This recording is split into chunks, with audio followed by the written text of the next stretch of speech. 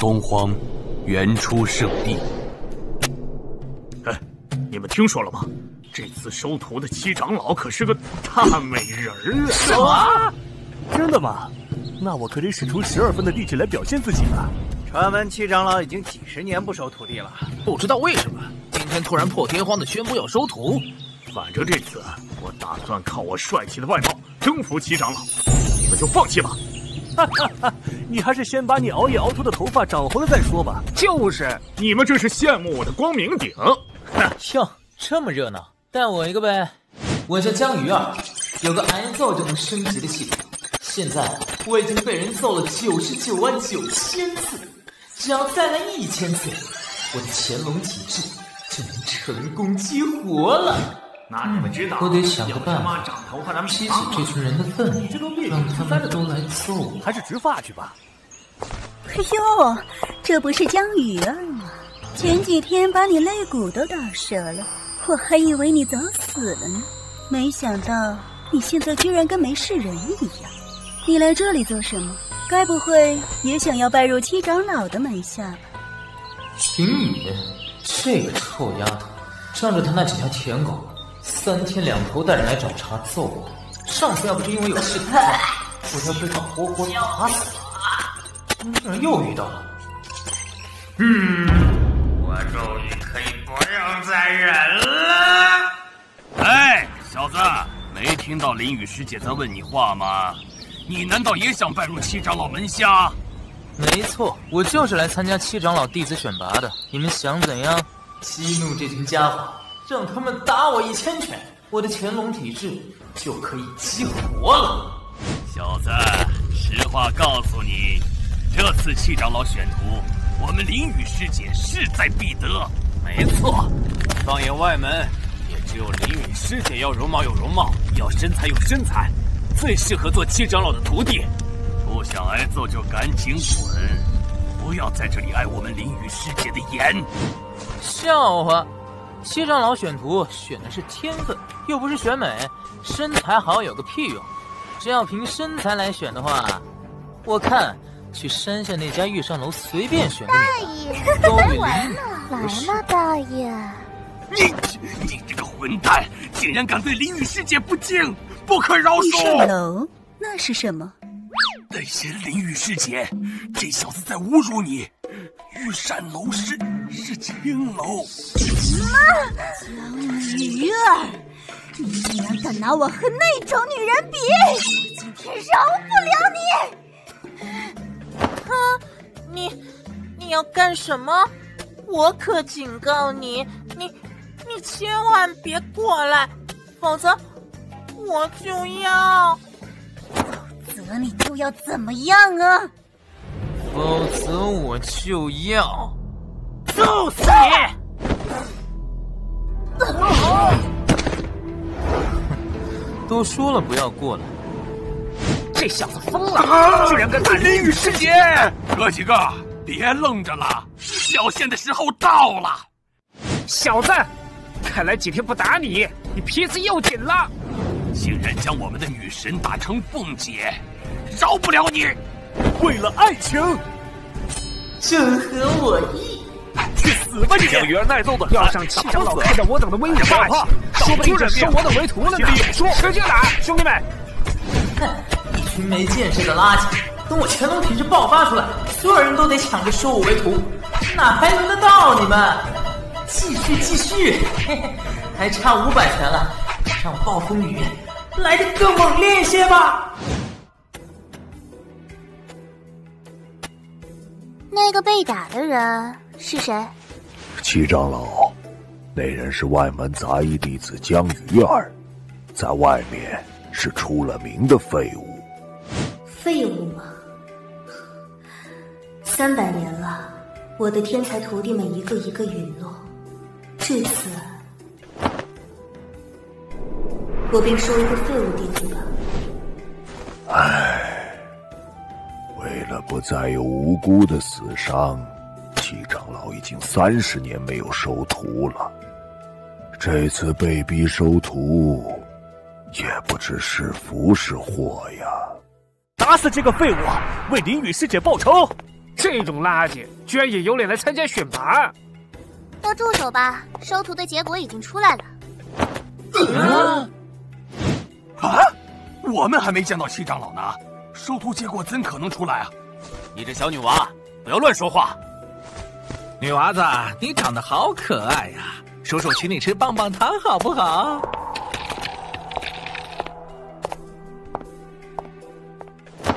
小子，啊，你被选中了。我被选中了，马萨卡！开什么玩笑！七长老名震圣域战场，以他的身份和地位，怎么可能会选择江鱼儿这种废物当徒弟？这女娃子哪里来的？怎么胡言乱语！女娃子，你再这样胡说，叔叔可就不疼你了。女娃子，你是诚心来恶心我们的吧？七长老就算是个傻子，也不会收江鱼儿为徒。你再在这里胡言乱语，别怪我不滚！啊！唧唧歪歪的，烦死了！你，你这臭丫头，竟然敢打我！都给我听好了，谁先把这个女娃子的腿打断，今晚我就和谁约会！约会，今晚！等了这么久，机会终于来了。嘿嘿，我倒不是对林雨师姐有什么非分之想，主要是熊孩子这种东西越早教育越好。这都是你自找的，小萝莉，可别怪叔叔们下手狠啊！等等，想动他，先过我这一关。喂，小子，我说过需要你保护了吗？哼，不管怎么说，你都是因为帮我才陷入如此境地的。更何况我皮厚，不怕打。你快走！嘿嘿嘿，只要再被打一顿，我的潜龙体质就觉醒了，我怎能放过这大好机会？江鱼儿，英雄是吧？既然你想要英雄救美，那我们就成全你。来吧，请放肆的殴打我吧！这小子虽然是个废柴，但心眼倒是不坏，对我胃口。兄弟们上！哎呀！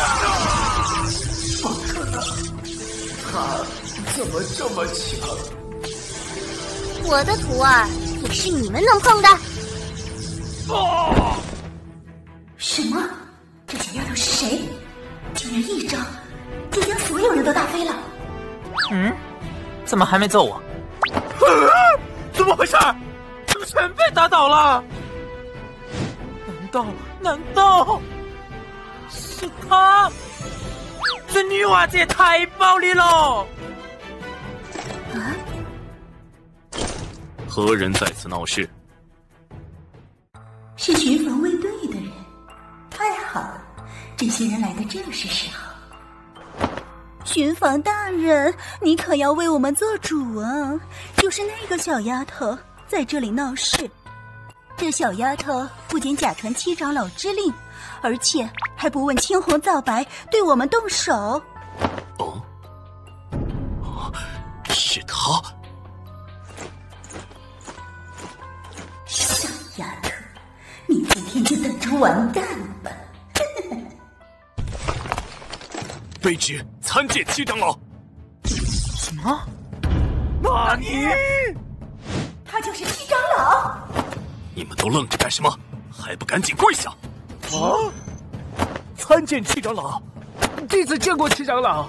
弟子有眼不识泰山，请七长老责罚。这，这怎么可能？他，他明明就是一个小丫头片子，怎么会是七长老？放肆！区区外门弟子竟敢侮辱七长老，我看你是找死！不要，我我错了，求七长老恕罪。我是外门弟子林。行了，我对你的名字没有兴趣。什什么？七长老竟然连我的名字都懒得知道？江鱼儿，弟子在。难道是要因为刚刚的事情责罚我吗？从今以后，你就是我的徒儿了。什么？随我走吧。这他妈的！啊！啊，七长老，虽然有只萝莉，嗯，不是师傅保护我挺好，但对我来说好像没什么必要。萝莉虽好，但不能贪杯。我已经有系统了，只要挨打就能变强，根本不需要师傅啊。既然如此，那就随你。嘿嘿，谢谢七长老。也好，免得又将一个无辜之人牵扯进来。走好不送。这小子居然拒绝了七长老。这江鱼儿难道不仅仅是废物，脑子也秀逗了？听说七长老大人出了名的狠呐，这小子知道自己是废物，怕被打废，不敢拜呀。大人出了名的狠。以七长老的实力，打我一拳可以足足顶普通人一百拳呐！若是成为他的弟子，每天没事给他找点麻烦，挨上几巴掌，那岂不是？师傅，等等我！嗯。师傅，先别走。关于收徒这个事儿，我觉得可以再商量一下。你不是不同意吗？刚刚你也听见了，我对徒弟要求很严格，打人可是非常狠的。哎呀，这不是巧了吗？我向来对自己高标准、严要求，我们师徒二人简直是天作之合，天生绝配，绝代双骄，举世无双。哎呀，师傅，您对我真是恩重如山，你一定福如东海，你一定对我不离不弃，徒儿我一定会这个小家伙好像挺有意思的。既然如此，跟我走吧。Oh my god！我竟然在这这这也太扯了！江鱼儿就这么简单的拜入七长老门下了？江鱼儿这是走了什么狗屎运？他这种垃圾废物怎会被七长老看上？我无论是天赋还是长相，都要比江鱼儿强一万倍啊！七长老怎么会看上他呀？江鱼儿，今天的耻辱，我一定会连本带利的收回来的。你给我等着！哼。性格、体质、境遇都符合要求，选他。小姑娘，你想不想进入内门啊？你，你是谁？我是能将你送入内门的人，而且还可以助你杀掉江鱼儿，为你报仇。你为什么要帮我？自然是想跟你做个交易。什么？你要我杀妻？嘘，很快内门就会有人来接你。切记我们的约定，不要和任何人说起，否则会死的。我林雨可不是这年如一的人。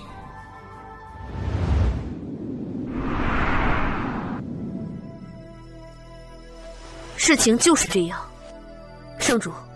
七长老三十年不收徒，这次被您强令收徒，却故意收了一个废物，这分明是在与您打擂台。知道了。啊！传圣主令，剥夺许月三个月用药权限。奴婢领命。妹妹，不要怪姐姐狠心，毕竟。只有你的徒弟，才能打开那处秘境啊！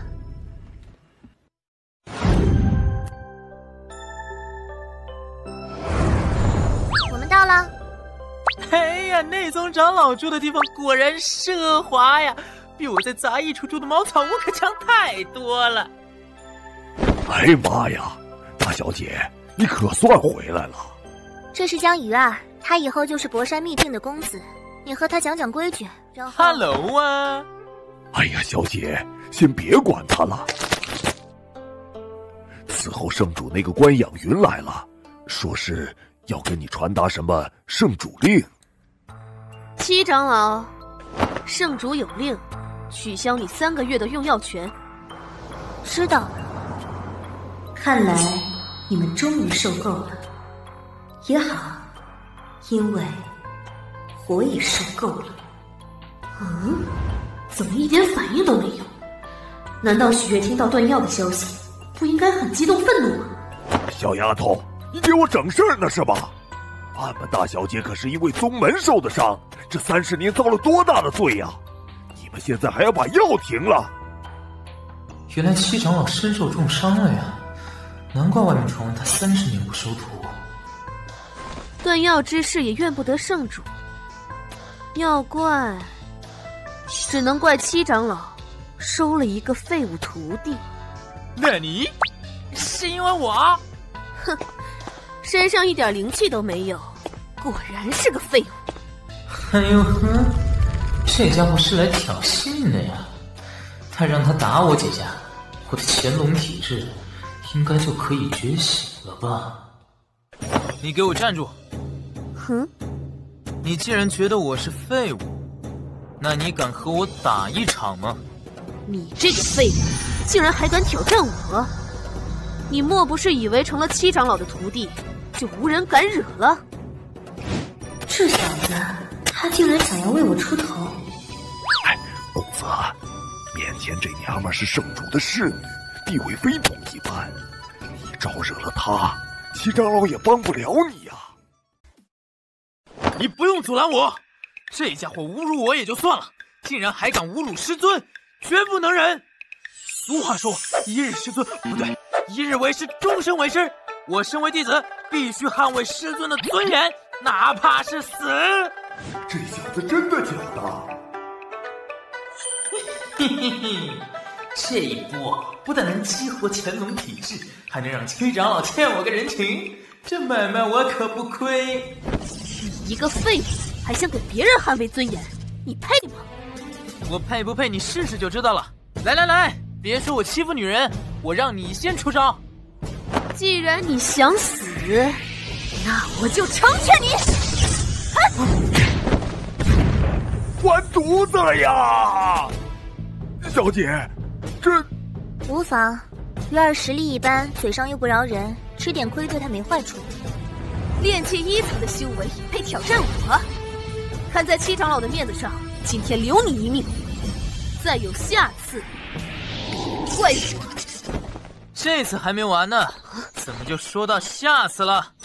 乾隆体质已激活。你刚才爽了一下，接下来该我爽了吧？江鱼儿怎么感觉有点不一样了？居然还能站起来，继续躺着！该躺下的是你！啊！什么？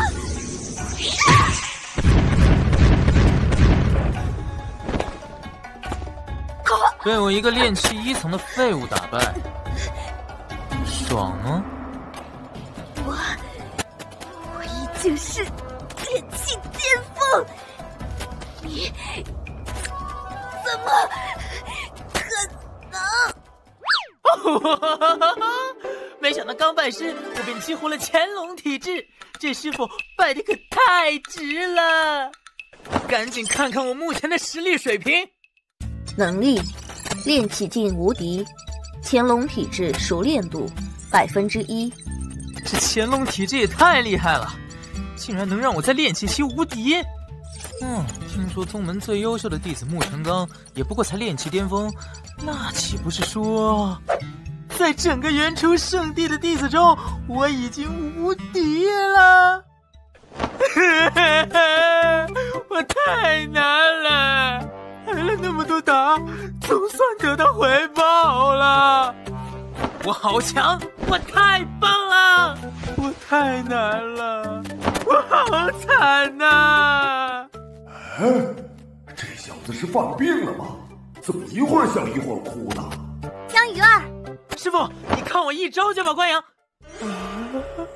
气氛好像有点不对劲呢。江鱼儿。你竟然隐藏了实力！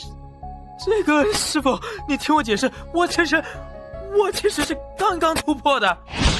还敢骗我？天龙体质熟练度百分之三十八。地图，你知道不知道我为何要收你？就因为你是一个废物啊！天龙体质熟练度，想到你竟然不是废物，反而是个天才。哎，打是亲，骂是爱。公子，你可别怪小姐，俺们家小姐是怕你死才这么激动的。师傅，你差不多解气了吧？你的输出太狂暴了，我身体有点顶不住了，能不能让我缓缓再继续？我最恨别人骗我了，既然你不是废物，就把你变成废物。江鱼儿，对不起，师傅，你来真的呀？就好过你去送死。天龙体质熟练度百分之九十九，天龙体质熟练度百分之一百。啊！怎么回事？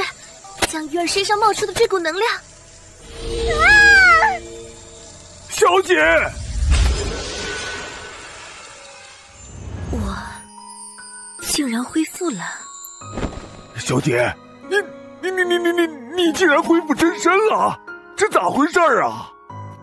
刚刚是江鱼儿周身的能量引动了我体内一股莫名的能量，难道我恢复真身是因为江鱼儿？哎，哇，师傅长大了，而且还是白色的。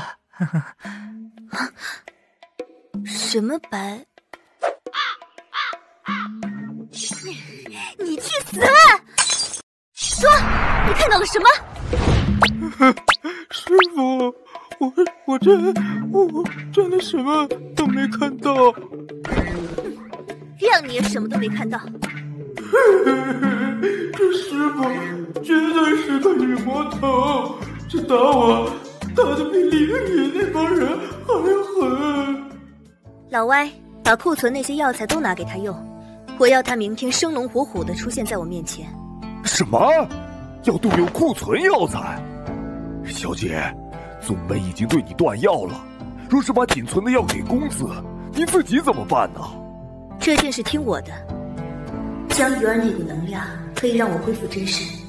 如果我能搞清楚原因，说不定以后我就再也不需要用药了。师傅把剩下的药都给我用，他果然还是爱我的。我也爱白色，不是，我也爱师傅。什么？圣主剥夺七长老三个月的用药权限，而且七长老还把圣主的侍女关养云打伤了。是的。啊！三十年来，七妹的伤势就靠宗门的仙药吊着，若是停用三个月，七妹恐怕……季云，快随我前往博山秘境，我要去见七妹。是。有意思。三十年了，许愿，你仗着为宗门立下的功劳，做事肆无忌惮，竟然连圣主的侍女都敢打。哼，我倒是很想去看看呢。许月三十年前受伤，功力大减。身形更是变成了小孩子模样，我还真想看看，一旦没有宗门提供的仙药，他会不会变成婴儿呢？刚儿，帮为师穿鞋，我要去博山秘境看看。遵命。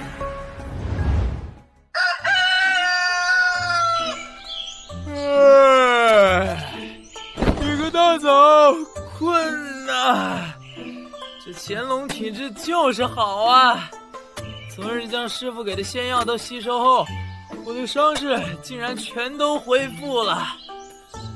嗯，不过话说我的乾隆体质熟练度已经到了百分之一百，接下来该怎么突破呢？难道还是要继续挨打吗？嗯，哇！又来一位仙女姐姐，这原初圣地的美女还真多呀！二姐，你怎么来了？七妹，你你恢复了，只是暂时的。原来只是暂时的。那你赶紧把这些丹药吃了吧。我听说圣主给你断药了，紧急给你准备了一些丹药。这是师姐你紧急炼制的丹药？对啊，生怕耽误了你的伤势。那个，我看就不用了吧。二姑娘出了名的马大哈，虽然炼丹厉害，但总是出错。上次我吃了一枚驻颜丹，差点直接把我送走。想当年，我也是风华正茂的绝色美男子一枚啊！七妹，你是嫌弃二姐的丹药吗？这可是二姐很用心炼制的。二姐，你想多了，我不是嫌弃你的丹药，只是，只是……嘿嘿嘿嘿嘿，两位都是极品啊，各有千秋啊！有了。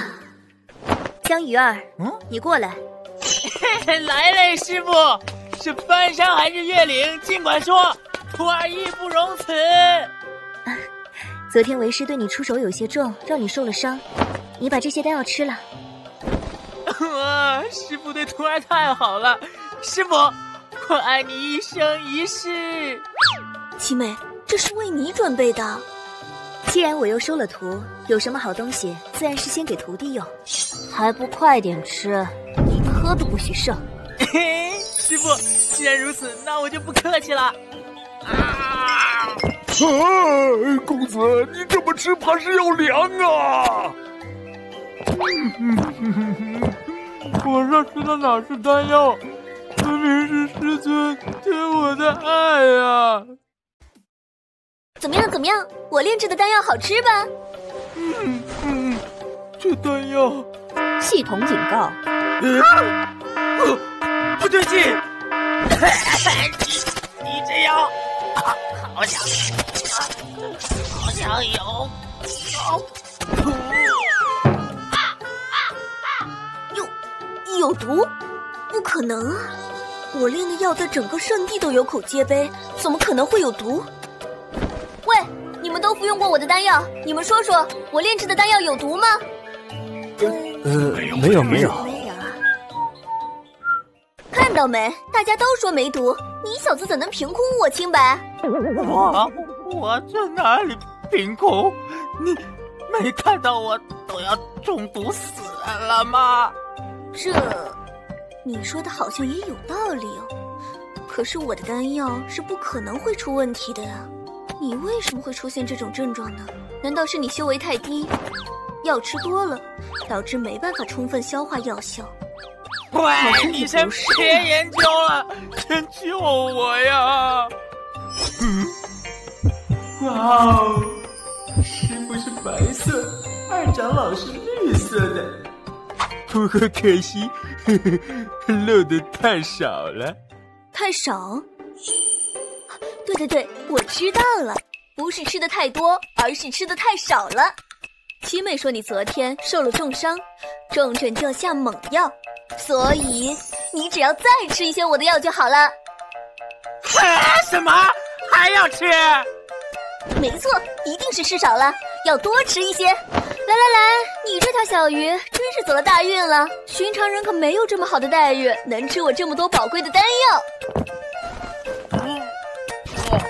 我要啊！长老，我受不住呀！神尊，救救我呀！你再不出手，就要失去你的宝贝徒儿了。呃，小姐，不救下公子吗？二姑娘这么给公子吃丹药，公子会出事的吧？自从经历了当年的事之后，二姐做事便一直都是马大哈。但她心中其实一直守着底线。那些丹药虽然副作用很大，但却没有生命危险。唉，小姐和二姑娘都是苦命人呐。师尊，我也就这样消失了吗？没想到我江鱼儿在异界痴杀三年，没有被人打死，却又被人。毒死了！潜龙体质熟练度达到百分之一百，开始激活潜龙能量。因服用不合格丹药，获得三十八点潜龙能量。当前潜龙能量为三十八点。哦，系统竟然开启了新功能！刚刚丹药带给身体的痛苦也消失了，没想到二长老这丹药竟然能让系统突破。这哪是毒药，分明是仙药啊！快张大嘴，让我塞进去，塞进去你就感觉好了。二长老，等等，怎么你就这么嫌弃我的丹药？没错，我确实嫌弃，但我嫌弃的是丹药太少了。二长老，我从来没有吃过这么好吃的丹药，你一定要再给我一点。什么情况？公子竟然主动找二长老要丹药吃，他该不会吃药吃傻了吧？我这徒儿的行事风格还真是出人意料，有意思。终于，终于有人体会到我丹药的魅力了。小鱼儿，这元初圣地还是你最有眼光啊！走走走，我那里有好多库存，你想吃多少就吃多少，我保证把你喂饱。哈，真的假的呀？啊！二长老，我需求量很大的，你可要。啊！啊这是……啊，太棒了！又来一个美女呀！圣主，原来她就是圣主啊！圣主来做什么？难道是得知我是个天才来抢我的吗？许月，给本宫跪下！你不仅违逆本宫的意愿，竟然还将本宫的侍女打伤，真是越来越放肆了！哇塞，竟然直接动手了，这是来兴师问罪的呀！圣主，那秘境已经吞噬了我无数徒儿性命，我不想再有无辜之人牵扯其中，你又为何非要执迷于此呢？还敢顶嘴！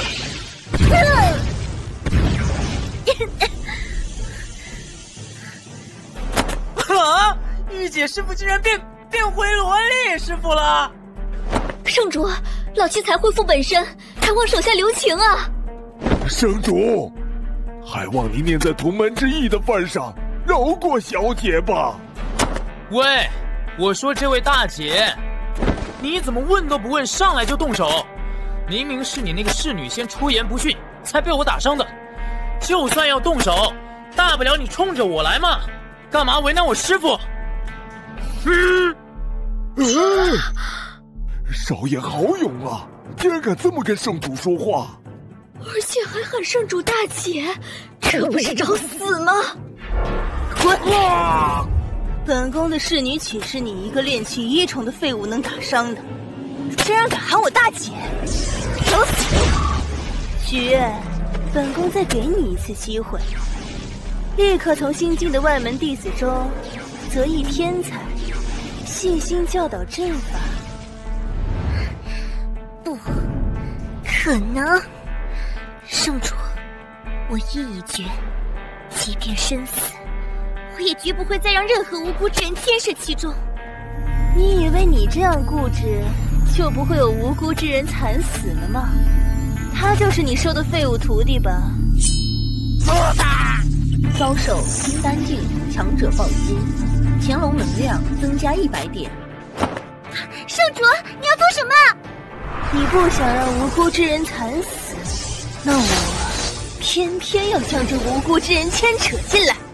系统提示：危险，危险！此次攻击威力超出身体承受极限。啥玩意儿？完犊子了，要凉啊！住手！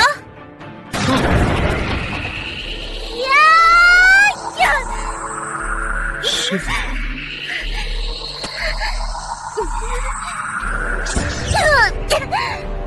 师傅，师傅，你你怎么样了？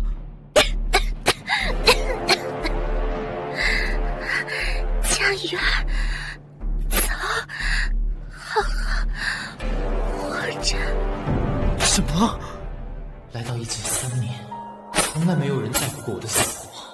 虽然我知道，是不是我为徒也有他的目的，但刚刚我的确真切感受到了，啊，在乎我的生死，他是唯一一个在乎我生死的人。有这样的人在，我怎么舍得走呢？我不但不走，我还要让他知道我值得他的在乎。圣主大人，我刚刚并没有说大话。关养云，的确是我打败的。他觉得败在一个练气一重的废物手里没面子，所以才没和你说实话，让你误以为是我师父出手的吧？你一个练气一重的废物，怎么可能？虽然我不在意别人喊我废物，但我在意我师父。我不想别人因为我而误会我师父，所以。摊牌了！我要告诉你们所有人，我不是废物。我师傅收了一个天才徒弟。江鱼儿，不许说！师傅，你先休息一下，接下来的事，小姐，交给我吧。圣主大人，博山秘境弟子江鱼儿，自认天赋还可以，甘愿接受任何测试。哦，看这小家伙的气度，的确不像废物。难道我真的误会七妹了？那就让我来亲手试一试。圣主且慢，四妹，你这是？圣主，只是试验这小子天赋而已，何必劳烦圣主亲自出手？不如让我徒儿进秋水去试试他的深浅。秋水也是练气境，同辈切磋。才最能看出一个人的天赋嘛。你说的倒是有些道理，那便让你的徒儿去吧。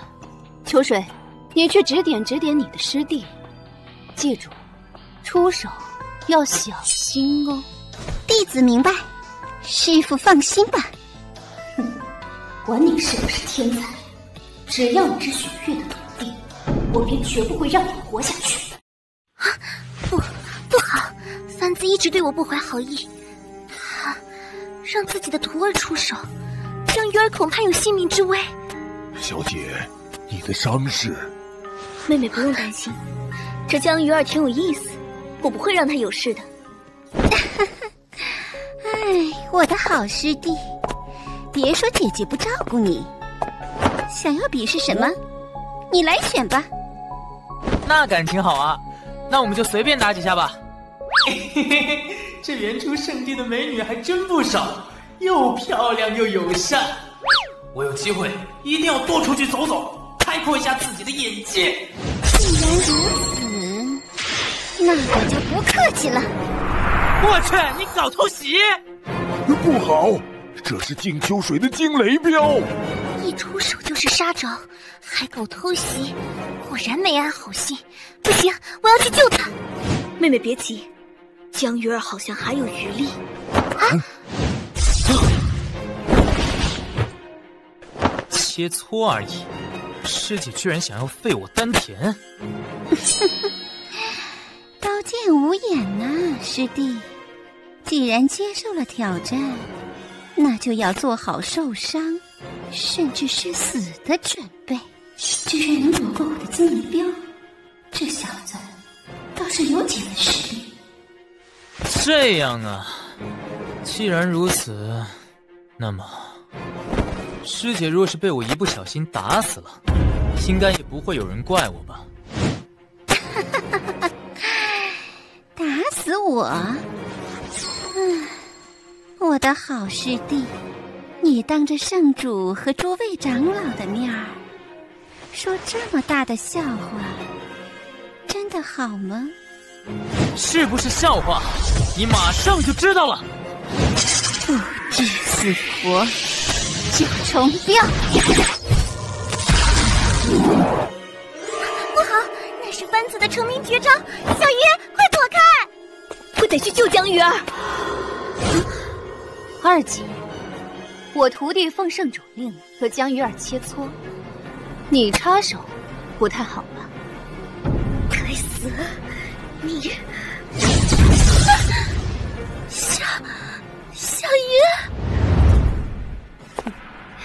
七妹，反正你的徒儿总归是要去送死的，早点死，还能免去你培育他的辛劳，这可是好事。你又何必这么悲伤呢？哎呀呀，不好意思，七师叔，我刚刚心急没收住力。您这新收的徒弟怕是要死。你个大头鬼！你没事？这这怎么可能？没有什么是不可能的，去死吧！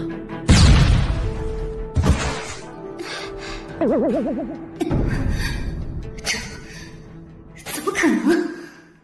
锦秋水竟然输给了这个废物！这江鱼儿明明只有炼气一重的修为，方才却发挥出了堪比炼气巅峰的实力。难道我这次看走眼了？他真的是个天才！小姐，公子赢了。他是为我赢的，但也因此，他要被我牵扯到那件事中了。不过，公子怎么一直不动？难道刚刚那一击把他耗干了？嘿嘿，我要多保持一会儿，将我这帅气的瞬间永远定格在他们心中。哎，差不多了。没想到耍酷也挺累啊！不动了。原来他没事。啊！你竟然能够将我打伤！师姐，先别这么快下结论，光打伤你可不够。什么？你你难道还想杀了我不成？师姐，你把我当什么人了？我怎么可能做出残杀同门这么不要脸的事儿？我江鱼儿做人做事，向来恩怨分明。你刚刚既然想废我丹田，那我便以牙还牙好了。什么？你要废了我？你敢？我可是……我确实敢。师傅就够了！师傅，你这小畜生！秋水好心指点你，你竟胆敢下此重手！我真的有些好奇，你的脸皮是怎么长的？竟然能面不改色的将废我修为说成好心指点？圣主大人，你不管管吗？说实话，弟子很为宗门的未来担忧啊！有这种人在，早晚会将我们宗门的脸都丢光的。大胆！竟敢以下犯上，对本长老不敬！今天我便带你师傅教训教训你！趁圣主没开口，先杀掉他！住手！小鱼儿，快躲开！危险！危险！此次攻击威力超出身体承受极限，耗费十点乾隆能量，可躲过这一招。是否启用？原来乾隆能量是这么用的！给我启用！这小畜生竟然能躲过我的子刃，可惜了，神辉长老，此刻不好再出手了。你们不愧是师徒啊，出手就要我的命，真当我江鱼儿没脾气吗？我今天把话撂这儿，静秋水的丹田我废定了，谁都保不住。还敢放肆！小畜生！没想到你有主动给我出手的机会，那就死吧！剩余的乾隆能量全部用掉。能量剩余一百二十八点，能量剩余九十九点，能量剩余六十六点，能量剩余三十八点，能量剩余零点。什么？我说过，静秋水的丹田我废定了，谁都保不住。江鱼儿，你敢！你放！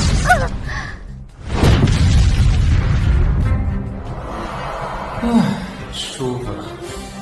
这乾隆能量了不得啊，连长老这个级别高手的攻击都能让我轻松躲过去，简直太霸道了。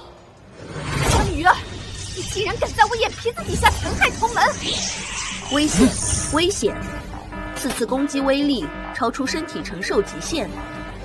江鱼儿竟然要躲过我攻击的实力，绝不能让他活下来，不然他一定会成为我的绊脚石。我去，我这个女人呢！我现在没有乾隆能量可以用了，躲不过去了。这下玩大了，要完了呀！分子，你给我住手！不用去，他死不了。怎么会死不了？分子动了杀招啊！因为，他已经证明了他的实力，会有人救他。哦，到此为止吧。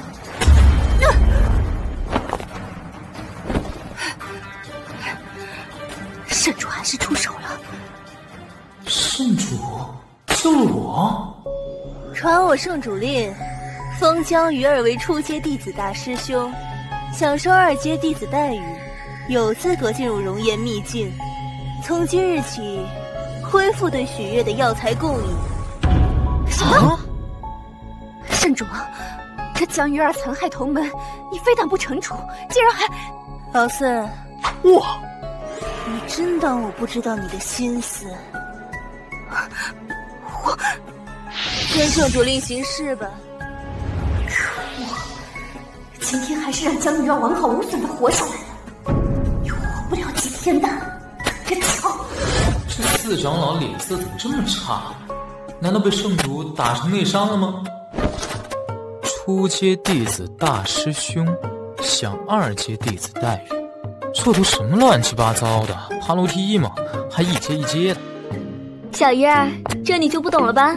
初阶弟子指的是刚入门不久的弟子，二阶弟子是上过圣域战场的弟子，他们都突破了炼气期，已经开始筑基了。二阶弟子每个月都可以领取筑基丹，享受到的修炼资源是初阶弟子的数倍。哦，原来是这样啊！你能够在炼气期就得到二阶弟子资源，是捡到大便宜了！恭喜你小子！二阶弟子的资源都这么丰富了，那三阶弟子还了得？我要当三阶弟子！你还想当三阶弟子？啊，师傅，没错，徒儿要当上三阶弟子，为师傅争光。嘿嘿，师傅也不用太过表扬弟子，毕竟这是弟弟子。父命之事，师傅，你怎么又是这副表情？弟子有些怕。乾隆能量加十，所有的三阶弟子都已经，没让你走，你为什么不走？为什么要显示自己的实力？我的脸！你是不知道，小姐之前收的徒弟，都是因为成为了三阶弟子才死的。师傅，你刚受伤了，剧烈运动对身体不好，别打了，行吗？师傅，您的水晶鞋。我，也是，我为什么要拿他出气呢？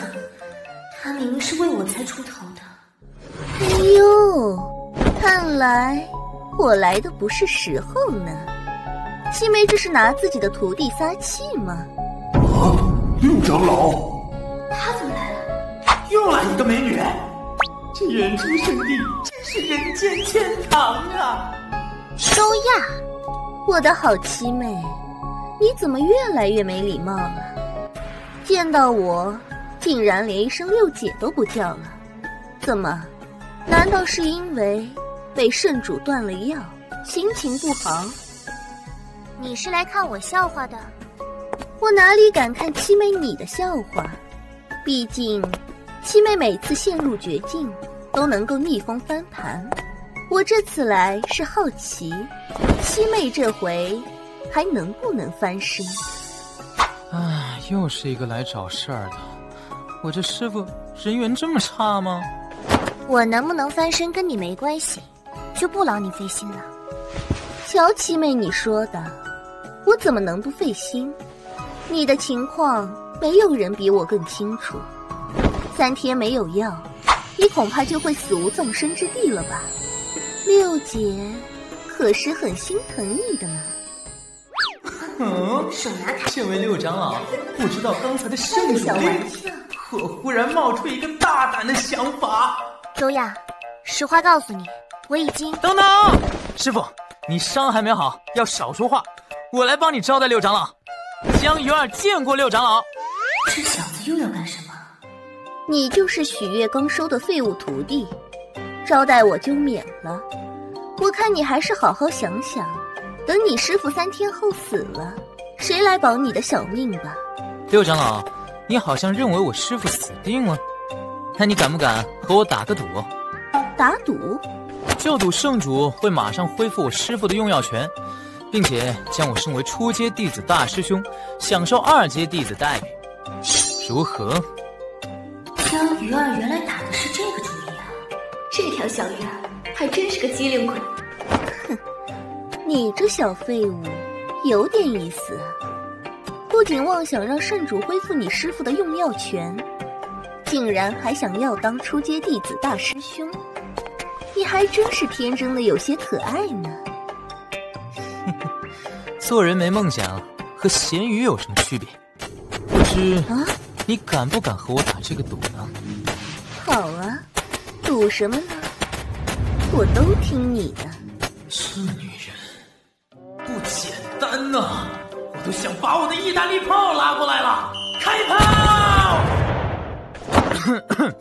我若是赢了。你要发出天道誓言，帮我办一件事，这就受不了了。看来还是个小雏鸟。我若输了，这博山秘境就送给你了。这小子竟然敢用博山秘境跟我赌，难不成他真有什么把握？小可爱，这博山秘境的归属，是你一个小小弟子能做得了主的？师傅。能不能让我用这博山秘境赌着玩玩，搏一搏单车变摩托啊？啊，你懂的，师傅。能不能把你的表情收敛一点？我可以拿博山秘境让你去赌，但如果你赌输了，我非扒了你一层皮不可。啊，师傅，你不是知道这是稳赢的局吗？扒层皮太残忍了吧？哼。虽然师傅又变成了萝莉，但生起气来还是好可怕呀！番子只是嫉妒我，这周雅三番两次对我下死手。既然江鱼儿想坑他，那我也乐见其成，给他点教训。哼，看许月的表情，他也没有把握。既然如此，好，这赌注我接了。我周亚对天发誓。若是我输了，便答应为江鱼儿办一件事。如果我输了，将这博山秘境送给周亚长老。天道誓言已经发完，告诉我，圣主什么时候会恢复许月的用药权，又何时会将你升为初阶弟子大师兄？那当然就是现在啦！圣主令在此，如假包换，假一赔十。什么？这这怎么可能？你竟然真的拿到了圣主令！记住了，你要为我办一件事。原来你早就拿到了圣主令，故意骗我和你打赌！你这个混蛋！这也怨不得我，谁让你脑子都长到胸上去了？我师傅敢拿博山秘境做赌注，那肯定是有必胜的把握呀！你，师傅稍安啊！这江鱼儿油嘴滑舌。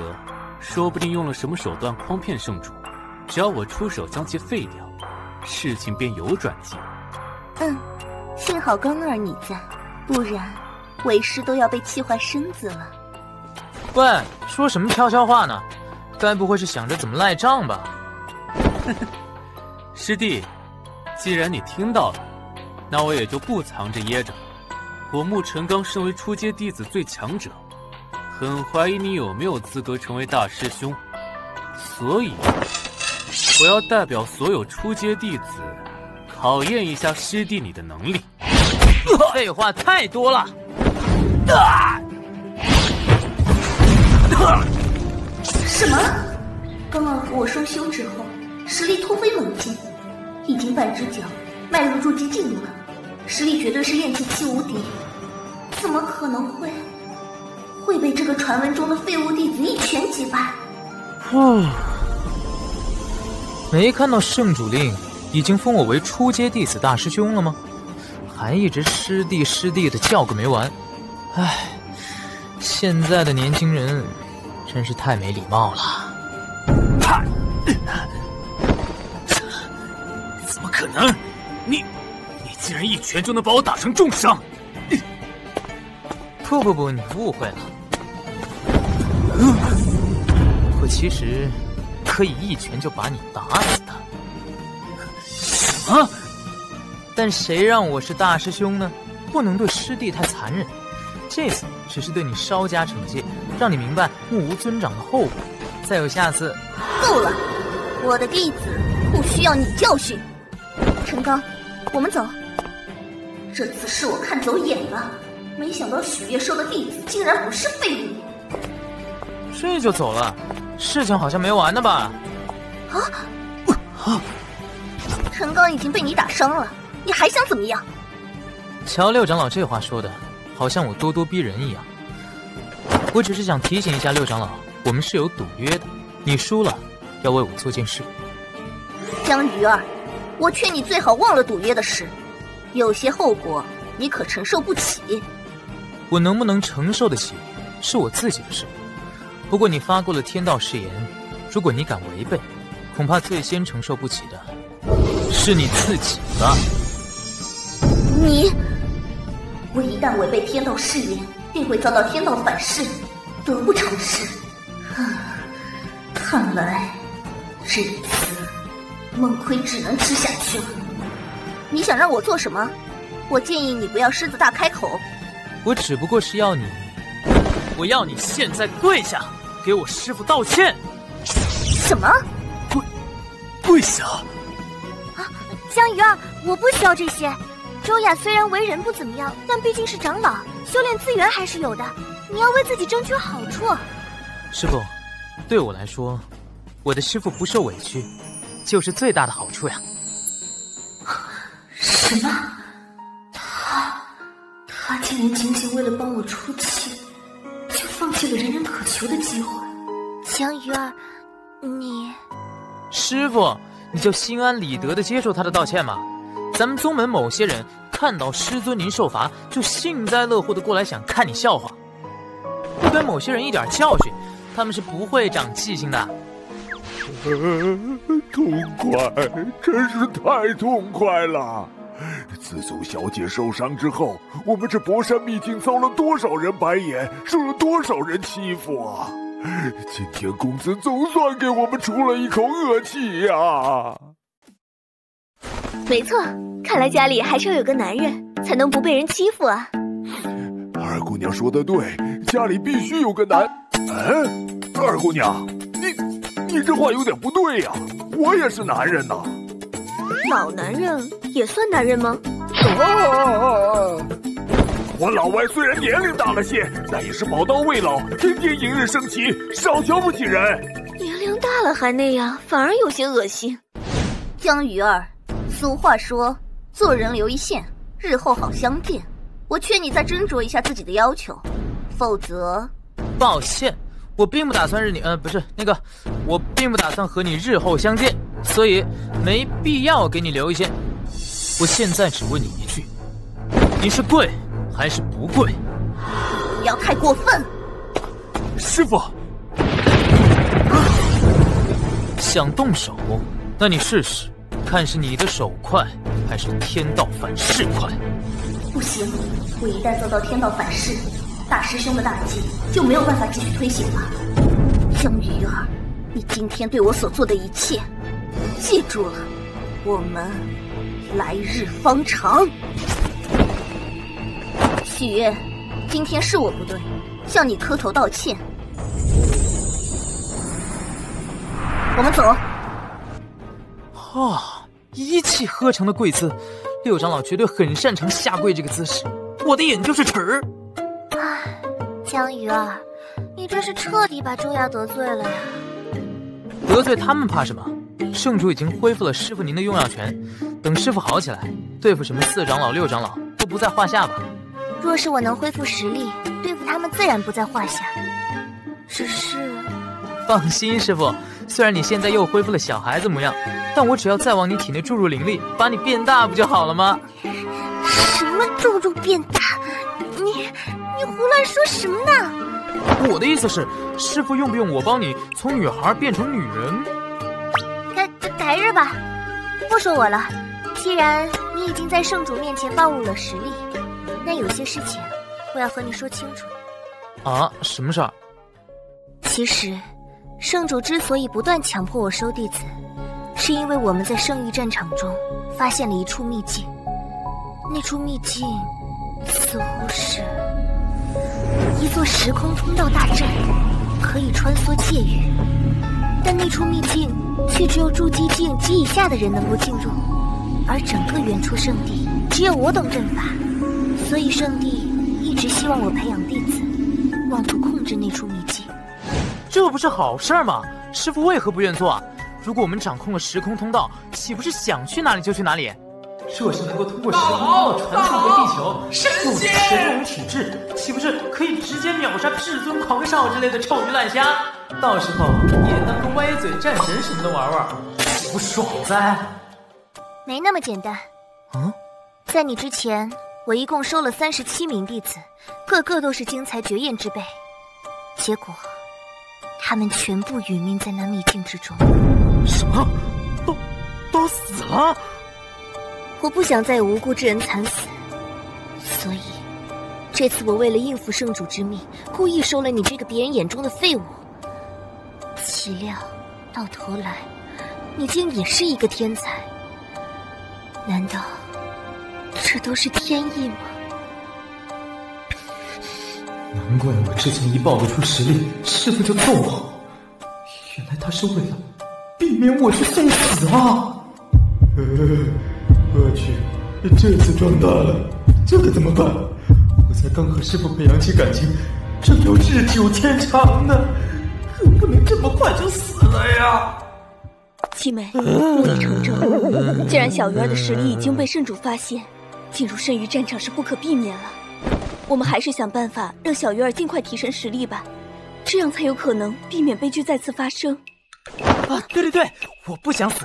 我要提升实力，二师叔，你快带我去你的炼丹房吧！我对你如饥似……呃，对你的丹药如饥似渴。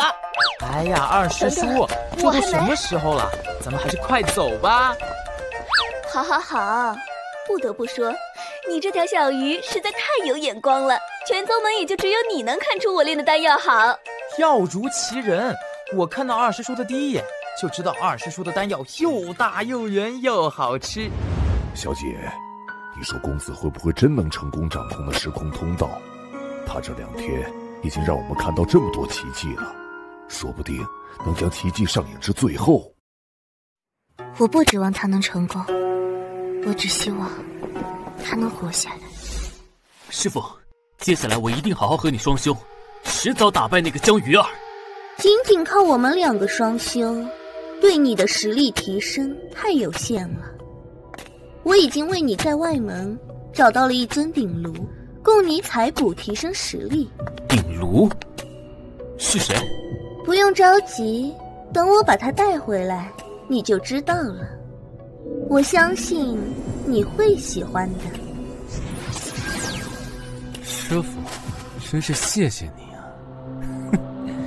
不过，我最想要的鼎炉不是别人，而是你啊。迟早有一天，我会把你吃的渣都不剩。小鱼儿，快些进来！我已经迫不及待想让你感受我的宝贝了。二师叔怎么比我还急？哦，我的天哪！竟然有这么多丹药！这些丹药最长的年份已经有上百年了，都是我舍不得给别人的。嘿嘿，谢谢二师叔。那我就不客气了，这丹药不错啊，看上去就好吃，太棒了！这个都臭了，肯定大补啊！多少年了，宗门的人都对我的丹药避之不及，还是头一次看到有人为我的丹药这么兴奋。哈哈哈哈哈！都是我的了。小鱼儿看上去很能吃，这些丹药恐怕喂不饱它。我要赶紧再去炼这一批出来！啊啊！爽，太爽了！啊！只有小孩才会挑食，我全都要。宿主遭受大量垃圾丹药暴击，一次性获得一千点乾隆能量。啊！居然一次性给了我这么多能量！一百点能量就可以让我躲开长老级别的高手进攻。我若是一次性将一千点能量全部消耗掉，得强成什么样啊！恭喜宿主首次拥有一千点乾隆能量，解锁新技能复制。宿主可以消耗乾隆能量，复制任何想复制的东西。啊，居然解锁了一项技能。嗯，可以复制任何我想复制的东西。真的假的？尝试一下看看吧。给我复制这颗丹药，去！啊，竟然真的成功了！宿主消耗九十九点乾隆能量，成功复制垃圾丹药一枚。不过这也太贵了吧！复制这么一枚丹药就花了我九十九点乾隆能量。啊，等等，那如果我想再复制出一个师傅，嘿嘿嘿嘿，是不是得消耗上百万的乾隆能量？我得攒到猴年马月去啊！不过梦想还是要有的，万一实现了呢？今天先把这里的丹药全部吃光，为复制出师傅的伟大梦想而努力！冲啊！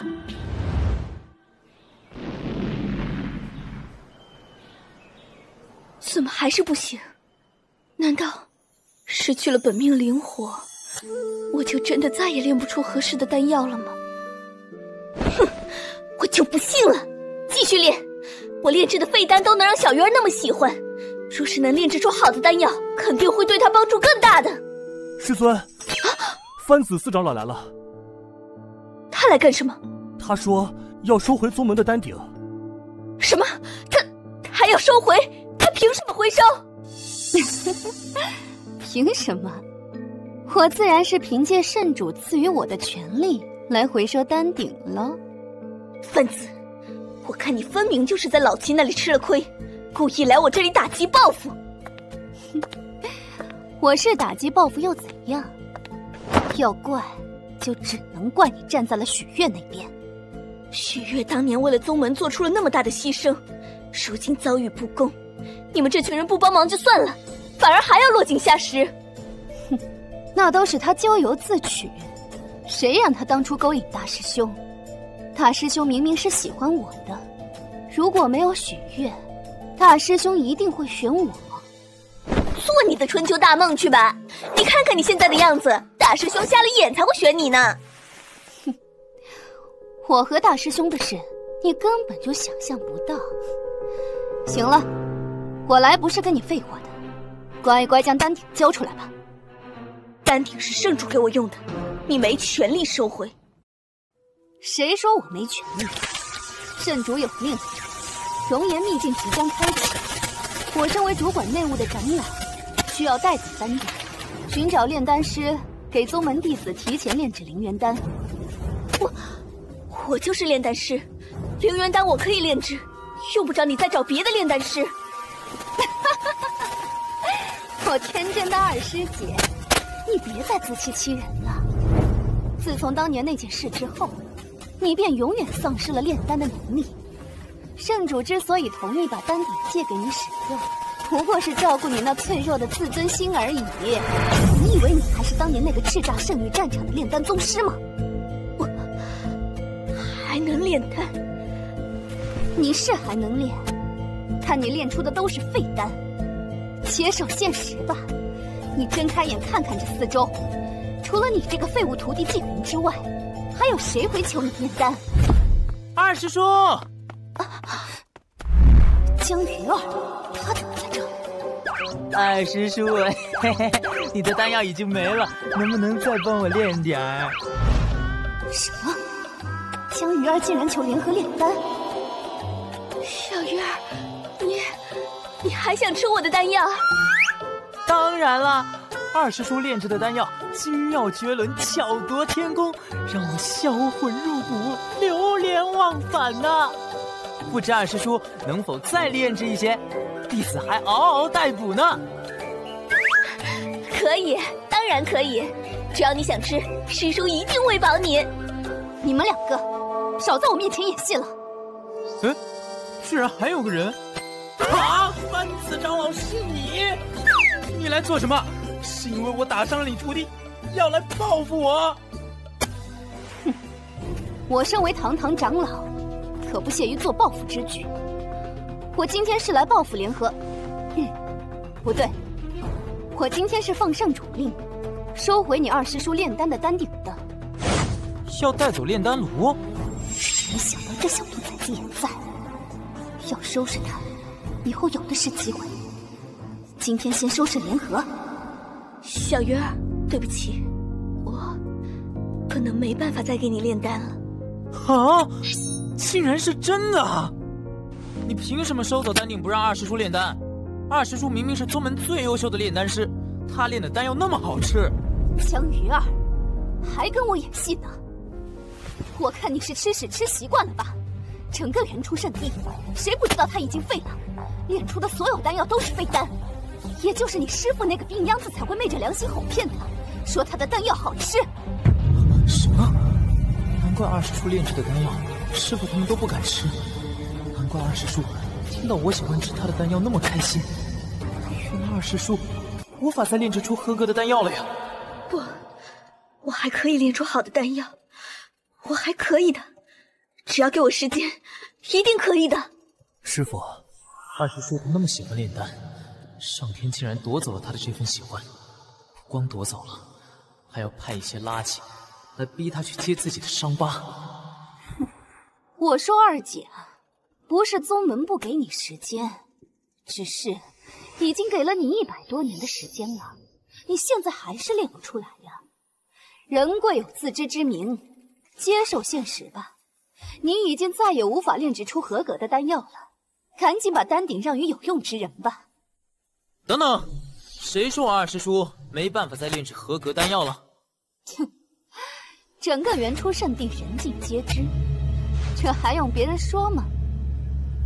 哦，那不知你敢不敢和我打个赌？什么赌？如果我二师叔炼制出来了，你要答应为我做件事；如果我二师叔炼不出，不单丹鼎给你，我还会代表我师傅和二师叔向你跪地道歉。哼，你一个小小弟子跪地道歉，你觉得我会稀罕？你师傅向我跪下还差不多。想让我下跪？可以啊，我也加入赌局便是。七妹，你怎么来了？师傅，二姐，我来看看我这猎徒有没有在你这里捣乱。雪月怎么也来了？师傅，您就这么相信徒儿啊？就不怕徒儿把您给输了吗？香鱼儿，你输了，我最多是下跪，但你。会死得很惨，师傅，我有几斤几两，您还不知道吗？您放心，您的膝盖那么光滑白净，我可舍不得让它因为给别人下跪变脏。如果你的膝盖要受伤，那也只能是因为我。行了，别贫嘴了，赶紧去赌吧。七妹，小鱼儿，不要赌。番子说的对，我确实无法练。二师叔，我相信你，你也要相信自己是最大的啊，最棒的，相信我，我有办法。小鱼儿，这好吧。小鱼儿虽然说话口无遮拦，但从来不做没把握的事。这个番子恐怕要和周雅一样，掉进小鱼儿的套里了。来吧，番子长老，该你接招了，敢不敢赌？哼，没想到你们师徒俩上赶着要给我下跪。既然如此，那就如你们所愿，赌了。虽然我不知道你们哪来的自信，但联合不能炼丹的事人尽皆知。不管怎样，我都不会输。我很欣赏番子长老的自信，那就请发天道誓言吧。哼，我身为堂堂四长老。你还怕我耍赖不成？不怕，直白的告诉你，我就是怕你耍赖。怎么不敢发天道誓言呢？不敢发，我也能理解。因为我早就知道，有些人虽然贵为长老，但其实胆小如鼠，输不起。你说谁输不起？不就是天道誓言吗？我这就发给你看。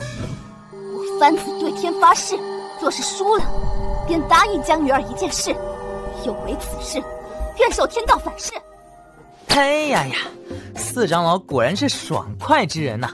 我一看你面相，就知道你心胸宽广、胸襟豁达、胸怀若谷、胸有大志、心胸乃大。少废话，开始吧！我倒要看看，整个原初圣地人尽皆知的废物炼丹师，怎么炼出合格的丹药来。嘿嘿，四长老别着急，联合长老开炉炼丹机会难得，我觉得可以请一些弟子前来观摩。让他们领略一下炼丹大师的风采，请弟子观摩。好啊，既然你想让联合在全宗门面前丢人，我求之不得。赶紧去叫人吧。什么？小鱼儿，二姐不用担心，小鱼儿肯定有办法的。你忘了老六是怎么被小鱼儿坑的了吗？好，好吧，我听小鱼儿的安排。季云师兄。那就劳烦你帮忙去通知一下，就说二长老开炉炼丹，邀请大家观摩。最先到的一百人赏灵元丹一枚。谨遵大师兄令。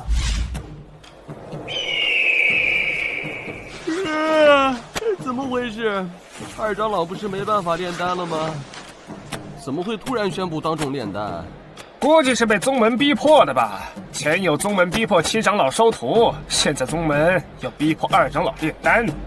二长老已经有上百年没有炼制出合格的丹药了，宗门让他当众炼丹，看来是想让他当众出丑啊！江鱼儿，前来观摩的弟子足有上千人了，比试应该可以开始了吧？嗯，人数差不多了，可以开始了。还请四长老出题，想要联合长老炼制何种丹药？我和联合怎么说也是同门师姐妹，我也不为难他。就炼制一品元魄丹吧。只要联合炼制的元魄丹里面蕴含的元魄能量与我这枚偏差在半成之内，便算他赢了。嗯，我们打的赌不是说联合长老能不能炼出合格丹药吗？怎么还对丹药品质有要求？当然得有要求了，否则你们找一枚现成的丹药作弊怎么办？既然是我出考题，我必须要出的严谨一些，这样。对大家都公平，不是吗？这枚元破丹是我偶然从一处上古秘境得来的，品质惊人。别说联合现在废了，就算当年的他，也未必能炼出品质这么高的元破丹。这下万无一失了。你这分明是故意在为难二师叔啊！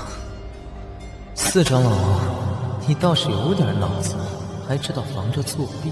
不过，你防得住吗？天赋技能消耗九十九乾隆能量，复制原破丹一枚。复制成功了。既然你让我出考题，我已经出了。你们如果不敢接，就赶紧认输吧。江鱼儿，没点把握我会跟你赌吗？你毛都没长齐呢，跟我玩，你还那么甜？谁不敢接了？还原破丹。就按你说的来，小鱼儿，我和你说实话，现在的我可能连最普通的元魄丹都没办法炼制，更别提番子这枚元魄丹品质极高，我恐怕……嗯，师叔，我相信你，你一定可以的。啊，这是，这是一枚元魄丹，而且元魄能量极高。好啦，二师叔，开始炼丹吧。好。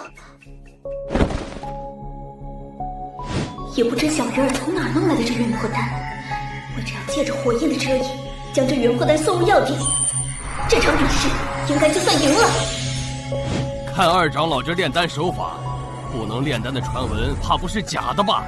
传闻不可能是假的，二长老肯定是在虚张声势，想靠花里胡哨的手法来掩盖他不能炼丹的事实。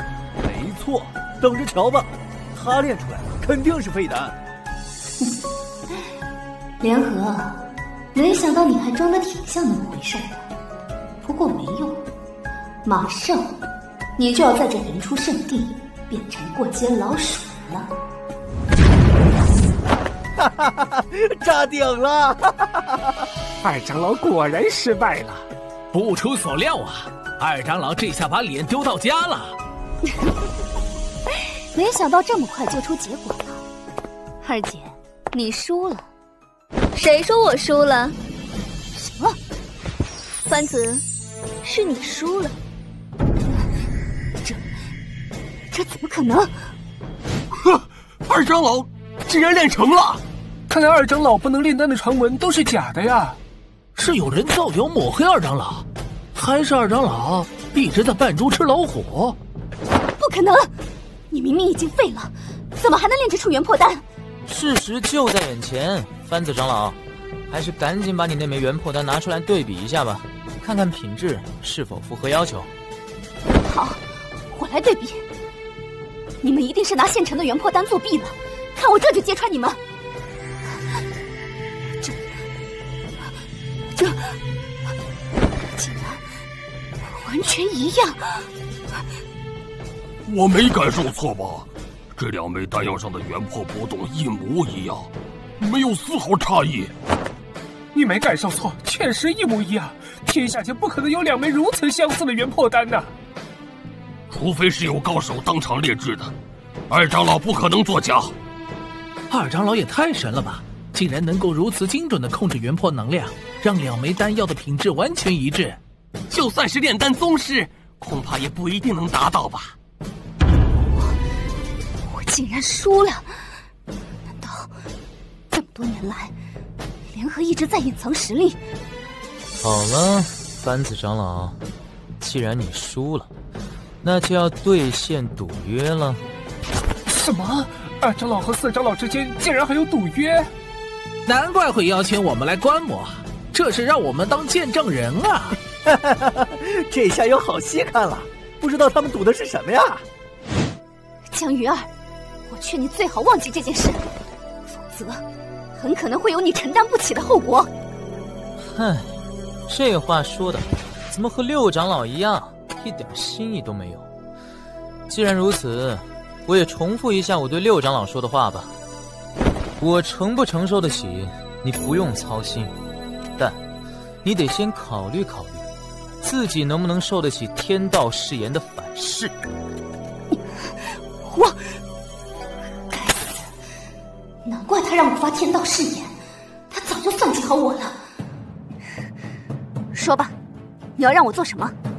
很简单，你现在给我二师叔跪下，赔礼道歉。什么？你竟然敢让我当着这么多人的面给联合这个废物跪下？没关系，我不会勉强的。要是不愿意就算了，只要番子长老。能承受住违背天道誓言的后果？你好，我答应。二师姐，对不起，请原谅我对你的无礼。一百多年了，我别无他求，不就是希望这些人和我说声对不起吗？但真的听到，却突然觉得。为了争这一口气，浪费了百年光阴，好不值得。我终于想明白了，人不是为了别人而活的。他们道不道歉，理不理解，对于我想追求的大道没有任何意义。尘幻随风散，因果都随缘了。命灵火，是二长老的本命灵火。传闻在百年之前，二长老的本命灵火因意外陷入了沉睡，没想到今日竟然苏醒过来了。什么今日？二长老的本命灵火早就苏醒了，不然刚刚怎么可能炼制出丹药？二姐看破心魔，重新让自己的本命灵火觉醒了。那个意气风发的炼丹宗师回来了。难怪联合能炼制出元破丹，原来他早就恢复了本命灵火。不行，我得赶紧把这件事告诉大师兄，不然我们的大计就要受影响了。江鱼儿，今日之辱，本座记下了。三日后的熔岩秘境典礼，你给本座等着！啊，等啥？你是还想再跪一次吗？哼，等着就等着，怕你不成？小鱼儿，二师叔，谢谢你。要没有你，我可能一辈子都找不回当初的自己。是你让我体会到了百年间从未有过的畅快。二师叔，我快要窒息了。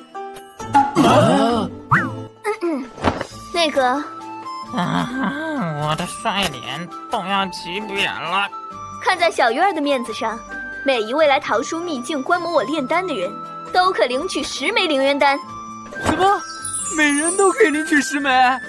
十枚？这也太夸张了吧！即便是进入熔岩秘境冒险，宗门也只是允诺给我们每人三枚呀。二长老真是大手笔啊！太感谢二长老了。不用谢我，我是看在你们大师兄江鱼儿的面子上才给的。要谢就谢你们大师兄吧。多谢江鱼儿大师兄，大师兄，多谢江鱼儿大师兄，大师兄。二师叔这是在帮我收买人心，让我在初阶弟子中树立权威啊！多谢二师叔为我费心。小鱼儿，你助我恢复灵火，乃是天大恩情，日后不必再对我行大礼。呃，师尊，给每人十枚灵元丹是不是太多了？咱们手里没有那么多灵元丹呀。放心吧，我已经恢复了本命灵火，再多灵元丹也是信手拈来。二师叔这炼丹手法也太暴力了吧！啊，一百多年了。我已经有一百多年没有看到二师姐如此意气风发的炼丹了，小鱼，这都是你的功劳啊！哈哈，师尊言重了，弟子也只是无心插柳，见缝插针，两肋插刀而已。丹成，去！这么快就练出这么多灵元丹，二长老真是太厉害了！十枚灵元丹啊！我入门以来。从没有见过这么多灵元丹，哇！有了这些灵元丹，我们在熔岩秘境之中，二阶弟子能去的一些地方，我们也敢去闯一闯了。好了，大家都散了吧，二长老需要休息了。是，弟子告退。唉，师傅和二师叔怎么愁眉苦脸的？刚才这些弟子提到熔岩秘境，小鱼，三天之后。熔岩秘境必要开启了，圣主特地赏赐了你这个新弟子进入熔岩秘境的资格，这不是好事吗？本来是好事，但这次主持熔岩秘境开启的是番子和周雅，我担心他们会对你不利。唉，圣主也真是的，他难道不知道大家都在针对小鱼儿，也不站出来帮忙说句公道话？圣主是故意的，圣主就是希望小鱼。在这种不停的打压和厮杀中成长起来。哼，他想的倒是轻巧。那如果小鱼儿没有经受住打压和厮杀，被人打死了呢？那便证明小鱼不是真正的天才，圣主也不会怜惜。圣主为了宗门，不会在乎任何人的死活。七妹，你放心，我不会让小鱼儿死的。小鱼儿，你吃我的废丹都能修炼。我马上就给你炼制一大堆超级强力的丹药，让你的修为突飞猛进。呃，那个二师叔，其实我更喜欢毒丹，毒性越大越好。至于正常的丹药，我反而不是太喜欢。难怪你说我的废丹好吃呢，看来是体质原因。大概是吧。嗯，你需要的丹药毒性越大就越好是吧？这个我倒是也能炼。这毒丹绝对了不得，二师叔太给力了！沉了。啊！居然不是固体，而是液体！二姑娘，你这炼的到底是什么呀？这是我专门为小鱼儿炼制的，有着万毒之祖称号的毒液，名为“要你命三千”。要你命三千，这名字是不是太夸大了？一点都不夸大，我当初在圣域战场用一只三阶地龙妖兽试验这瓶毒液的毒性，结果那地龙当即惨死，连灵核都炸了。什么？灵核都炸了？不仅如此，当时那地龙的尸体砸落在地，将方圆十几里的地面沾染成血黑之色。数十年间，飞鸟不过，人畜不存，白骨皑皑，血流成河。啊，好强！这还不是最厉害的。后来，一位金丹强者误入那片禁地，不小心触碰到了那地龙尸骨，金丹当即碎裂。竟然这么强！这毒液这么霸道，我这乾隆体质能扛住吗？要是扛不住，我可就直接嗝屁了呀！师傅，这毒液连金丹强者都能干掉，也太逆天了吧！唉，逆天是逆天，但却有一个致命的缺点，那就是这东西不是一下子就能见效的。要一天三十剂，连续三天才能发挥出毒性。哦，原来如此。原来如此。嘿，不是一下子见效，那我就不怕了。二师叔，离熔岩秘境开启刚好还剩三天，这要你命三千，简直就是专门为我量身定制的呀！谢谢二师叔，快给我喝吧。小鱼儿别急，这毒液不是喝的。啊？不是喝的，那怎么用啊？这也是要你命三千的另一个缺点，就是要用这个东西注入身体里面。喂，二师叔，你你开玩笑吧？这玩意儿这么大，会戳死人的。啪！放心，不会死的。你忍过去之后，说不定还会爱上这种感觉。来吧。不要我啊！啊！疼死我了！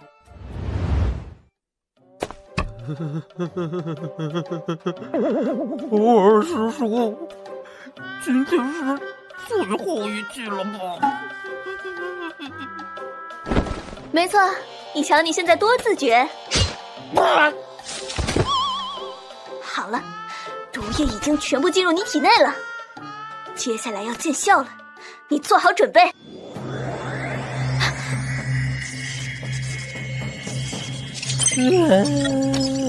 宿主遭受致命剧毒暴击，乾隆能量转化计算中。恭喜宿主一次性获得一万八千八百八十八点乾隆能量，奖励特殊能力巨灵。可消耗一千八百八十八点乾隆能量，将灵气浓缩一千八百八十八倍，形成一枚灵气药丸，用于战斗，相当于筑基巅峰强者最强一击。筑基巅峰强者最强一击，这么强？那我赶紧来一颗这药丸看看。赢！宿主消耗一千八百八十八点乾隆能量，成功凝聚出一枚药丸。这哪是药丸，这不就是手雷吗？检测到宿主思维，灵七药丸命名为手雷。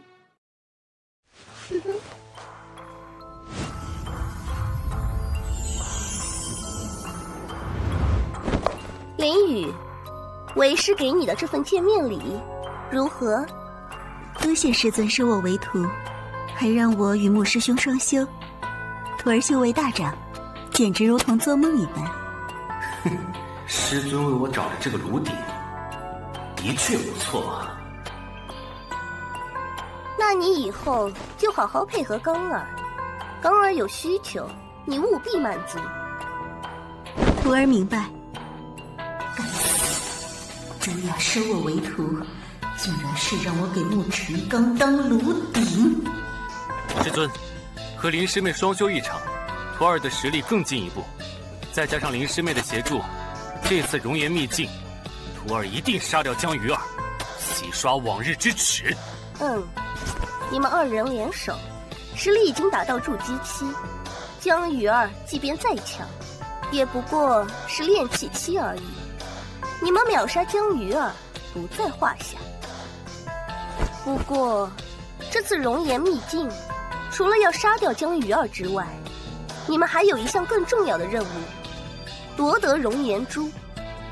啊？什么？师尊，熔岩珠可是整个熔岩秘境的根本，仅凭我和林雨师妹，恐怕……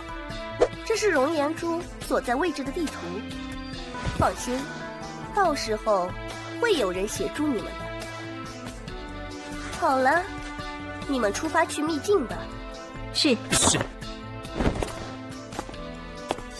如果我能得到熔岩珠，实力恐怕会直接越阶晋级至金丹境，届时就能将师傅吃干抹净了。虽然不知道熔岩珠是什么，但一定是绝顶宝物。我若能够得到，就能摆脱这恶心的师徒二人了。都安排好了？大师兄安排的事情，我定当尽心竭力。嗯。我能不能突破金丹，成为圣域大陆的至强者，就看这一次了。师妹一定助大师兄冲上云霄。马上要到出发去秘境的时辰了，公子怎么还不出来？该不会被毒死了吧？放心吧，江玉儿天赋异禀，体质特殊，绝对不会有事的。你看，这不就出来了吗？完美！我这个出关的姿势简直帅炸了！师傅二师兄，你们一定心动了吧？快来投怀送抱吧！公子，你可太心死老奴了呀！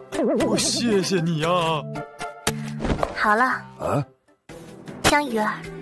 你这次进入熔岩秘境，是机缘也是考验。这枚丹药或许能帮到你。七妹，你竟然要将在时空秘境中得到的天杀金丹给江鱼儿？嗯，天杀金丹是什么？很宝贵吗？天杀金丹似乎已经超过了我们这片世界的上限。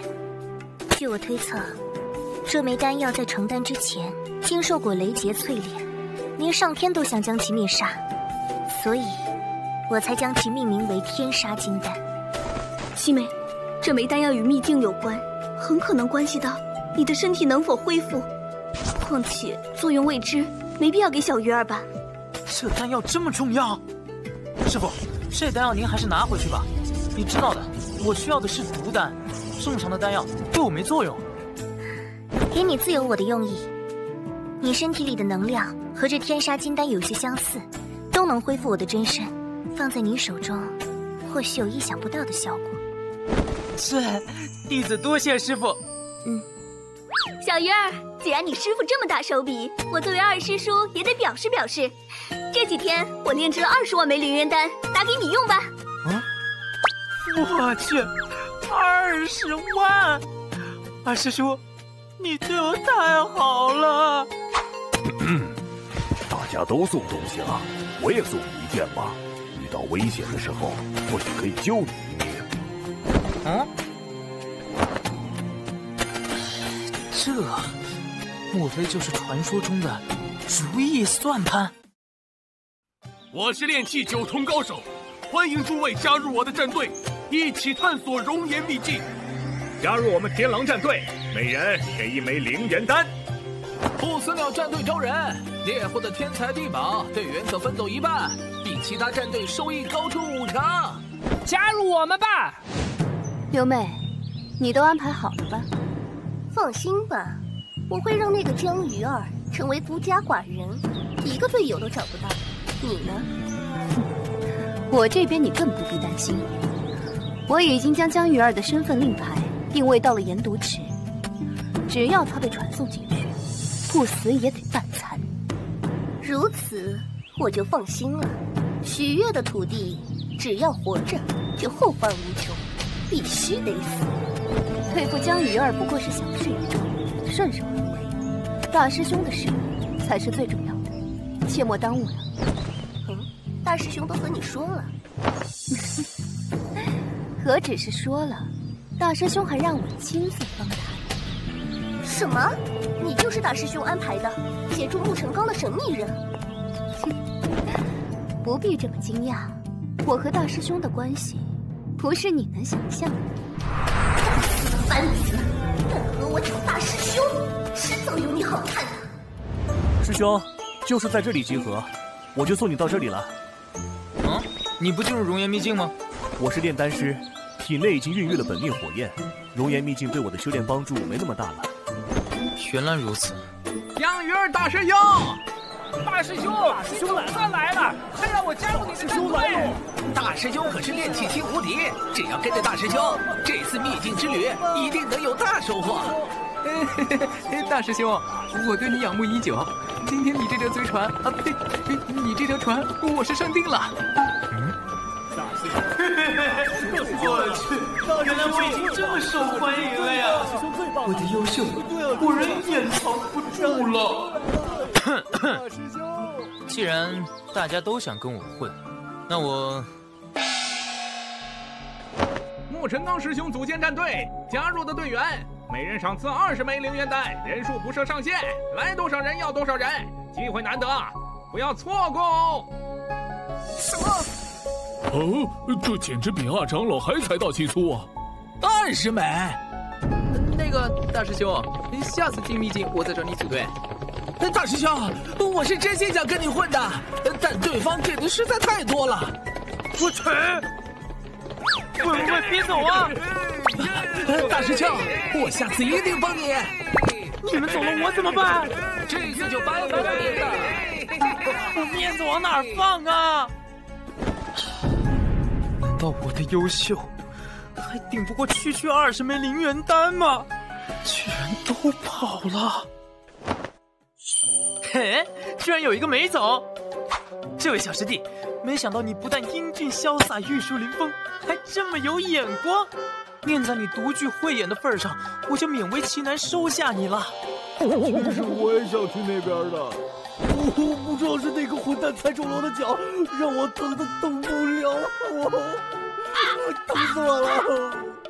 大师兄，老板您背我过去，我也想去领那二十枚灵元丹。不就是区区二十枚灵元丹吗？你跟着我，我给你。区区二十枚，江鱼儿，你还是像以前一样口气大。哦，哼，你还是像以前一样啊，这都让你混到内门来了。哼，江鱼儿，少在我面前逞口舌之力，你恐怕还不知道吧？六长老已经收我为徒。并赏赐了我一千枚灵元丹。你师傅对你有这么大方吗？你恐怕这辈子都没见过一千枚灵元丹放在一起什么样吧？我确实没见过这么少的灵元丹，二十万枚，见笑了。什么？江鱼儿怎么会有这么多灵元丹？大师兄也太霸道了吧！二十万枚灵元丹，大师兄真人不露相啊！大师兄，你千万不要误会啊！刚刚我就是过去逗逗沐晨刚那个傻子，我只想跟你组队的。没错，我们早就知道大师兄你底蕴深厚，沐晨刚那种穷鬼怎么可能配合大师兄比的？沐晨刚这种乡巴佬，居然还想用区区二十枚灵元丹就打动我们！我呸！我们对大师兄的忠心，是区区二十枚灵元丹就能收买的吗？嗯，你们给我滚！哼，一群见利忘义的家伙，不知道好马不吃回头草吗？小胖子师弟，刚刚只有你没走，我给你两千灵元丹，你先用着，不够了再找我要。两两千枚，我竟然因为被人踩了一脚。就得到两千枚灵元丹，这也太走运了吧！我刚刚也没走啊，哦，也给我两千枚丹药。哇，弟子中竟然也有这么赞的妹子吗？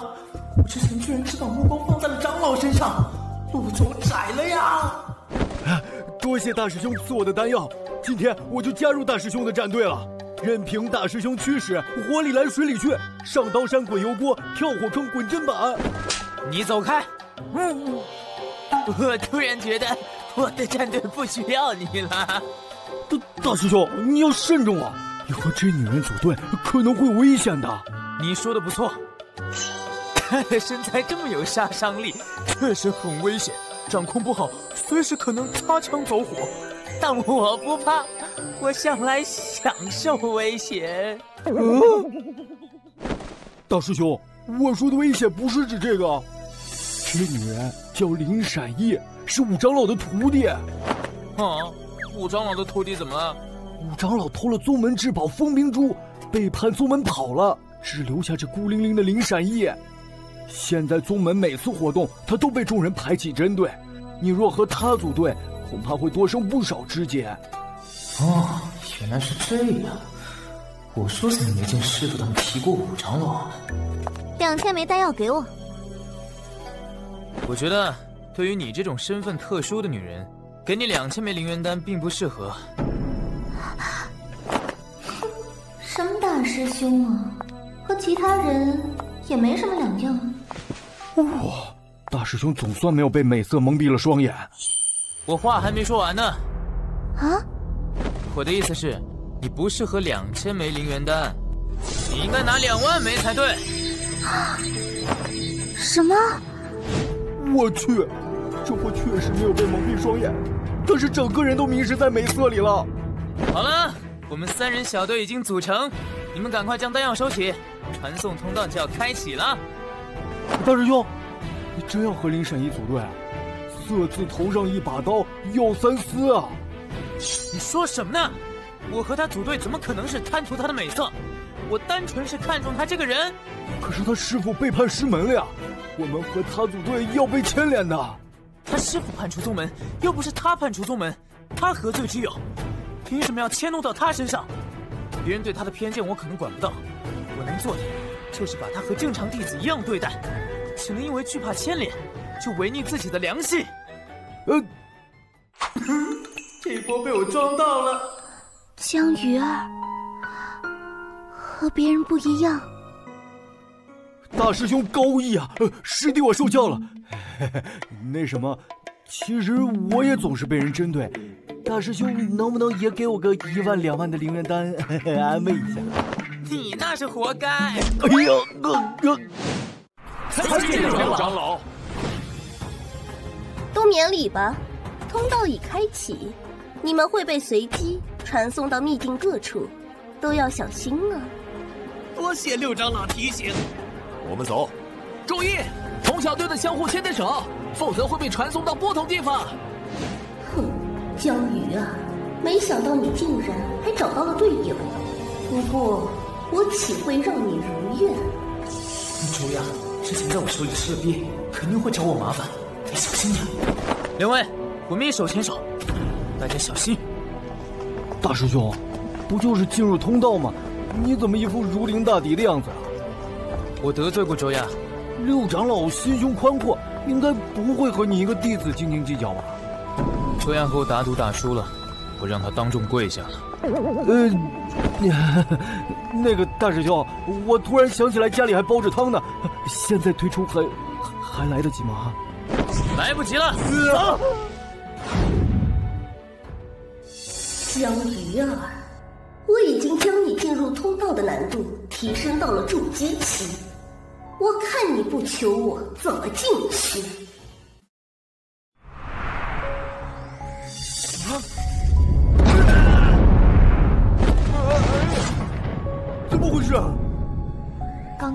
反馈已经达到了筑基期。看来刘长老果然出手了。江鱼儿，这就是你的报复吗，刘长老？我说过，做人留一线，日后好相见。如果你当时问我要一些修炼资源，甚至是宗门秘宝，我也不会吝啬。可你却只贪图一时之爽。不懂得把握机会，反而当众辱我。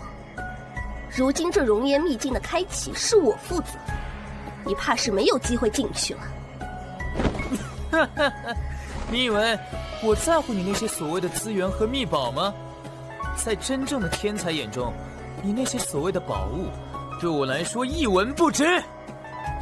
哼，牙尖嘴利，如今你连秘境都进不去，又哪来的勇气在我面前自诩天才？去秘境，那我们岂不是也丧失机会了？你们不用担心，只要现在脱离江鱼儿的小队，我可以马上让你们进去。不和大师兄组队，那可不行，我必须和大师兄组队，不然我收的丹药岂不是要还回去了？一次秘境修炼机会而已，不去又能怎样？你们竟然如此执迷不悟！多谢两位的不离不弃，不过你们放心，今天这秘境我肯定带你们进去。哼，进去？江鱼儿，你哪儿来的自信？现在秘境通道的难度是筑基期，你区区一个炼气期，拿什么进去？那六长老敢不敢和我打个赌？赌注很简单，我要是进去了，你得为我做件事。这江鱼儿又在打什么主意？之前我和老四都在他手上吃了亏，这次不能再和他赌了。怎么，不敢？不敢赌就别浪费我时间，赶紧给我让开！我还要抓紧时间进入秘境呢。大师兄厉害啊，六长老都不敢和他打赌。哦，我记下来了，以后不能随便和大师兄打赌。哼，一群不知天高地厚的乌合之众，我倒要看看你们怎么通过这筑基期难度的通道。哼，我就是这么通过的。我手雷的威力堪比筑基巅峰，要破开区区筑基期难度的通道，轻而易举。什么？刚刚那是什么手段？竟然拥有筑基巅峰的力量！江鱼儿好厉害！大师兄竟然有如此地盘！别愣着了，二位，咱们赶紧走吧。好。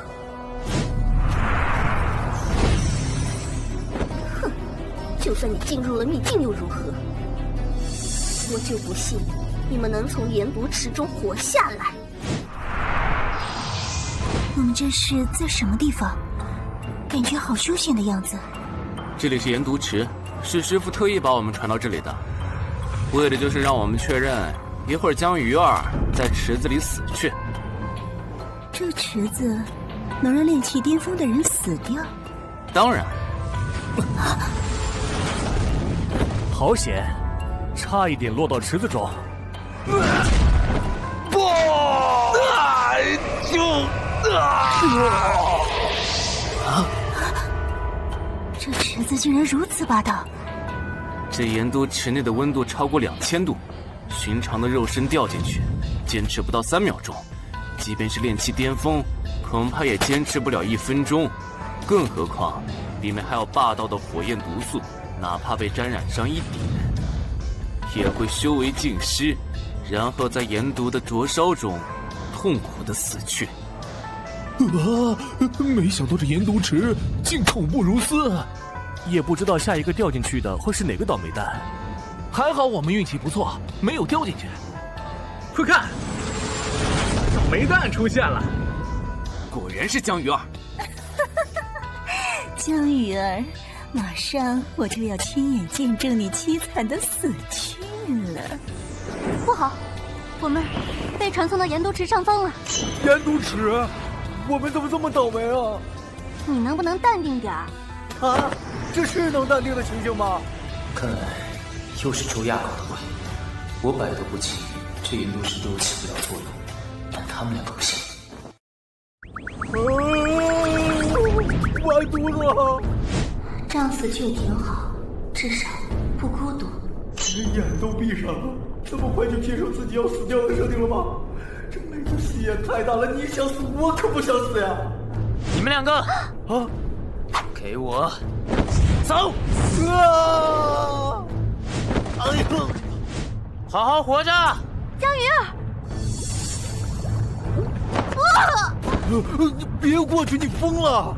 放开！我要去救江鱼儿！你去了就是送死，你救不了了。盐毒吃什么威力，你又不是不知道。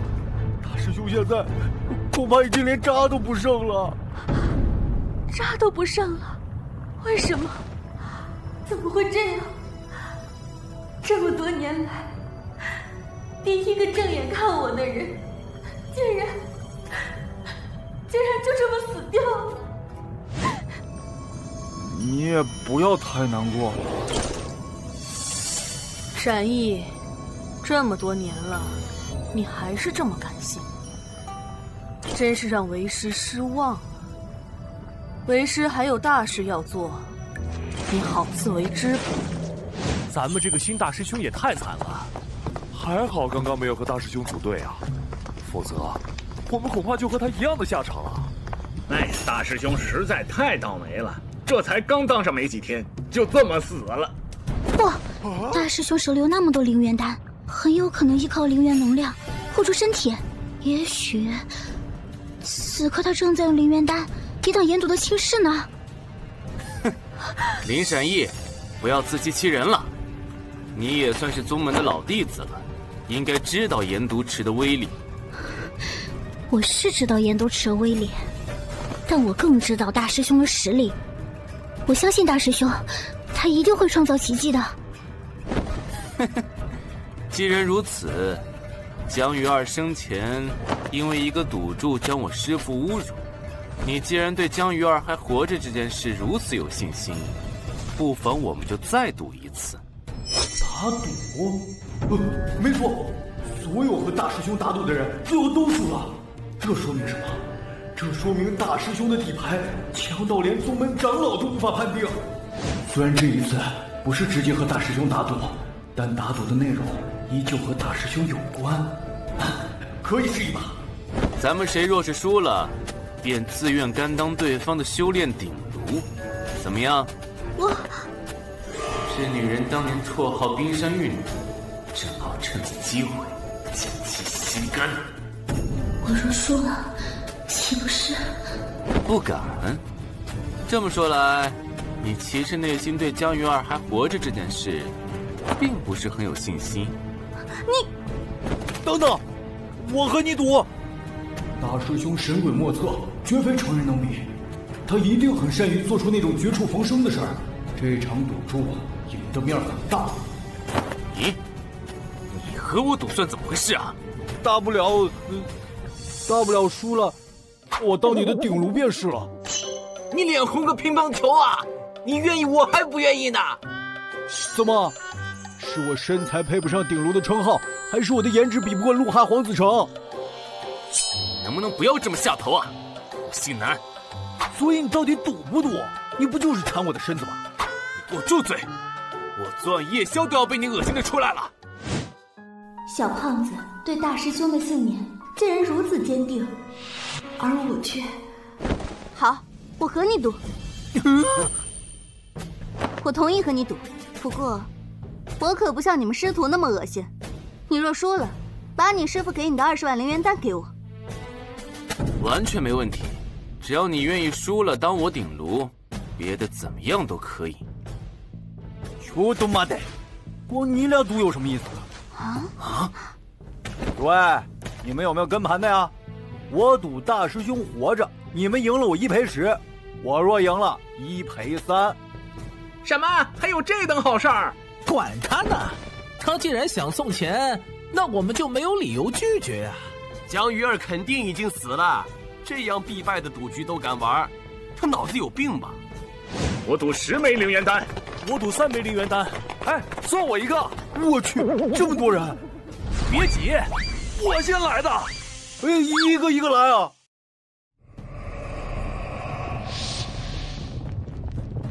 遭受炎毒攻击，一次性获得二十万点乾隆能量。恭喜宿主累积获得一百万点乾隆能量，激活特殊能力御兽诀。御兽诀。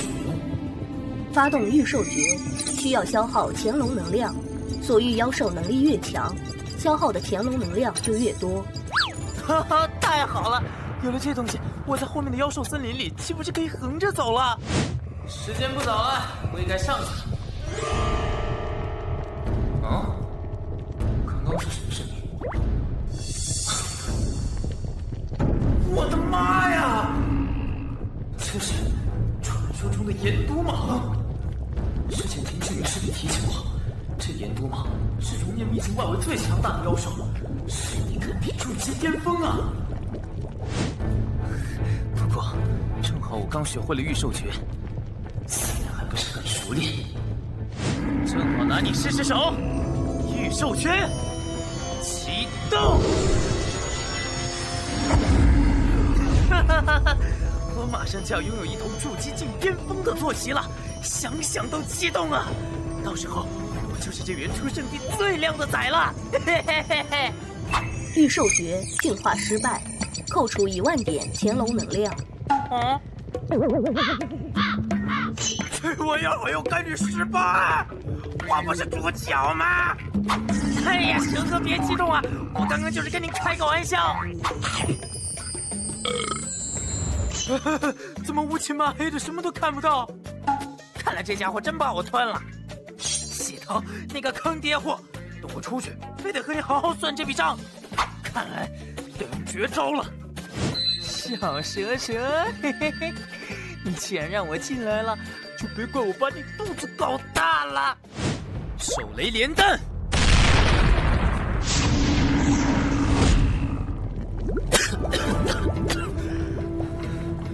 总算出来了，我就不信搞不定你！你爸，这岩毒池怎么突然变得波涛汹涌起来了？听说岩毒池里面有一只岩毒蟒，此刻不会是那畜生在兴风作浪吧？不知道林闪翼和那个小胖子还在坚持什么？江鱼儿本就难以在岩毒池中存活，现在又有岩毒蟒兴风作浪。江鱼儿怎么可能还活着？你说，大师兄会不会真的挂了？不，他他一定会没事的。好了，已经过去半个时辰了，别说江鱼儿了，即便是宗门内的金丹长老，也顶不住这么长时间。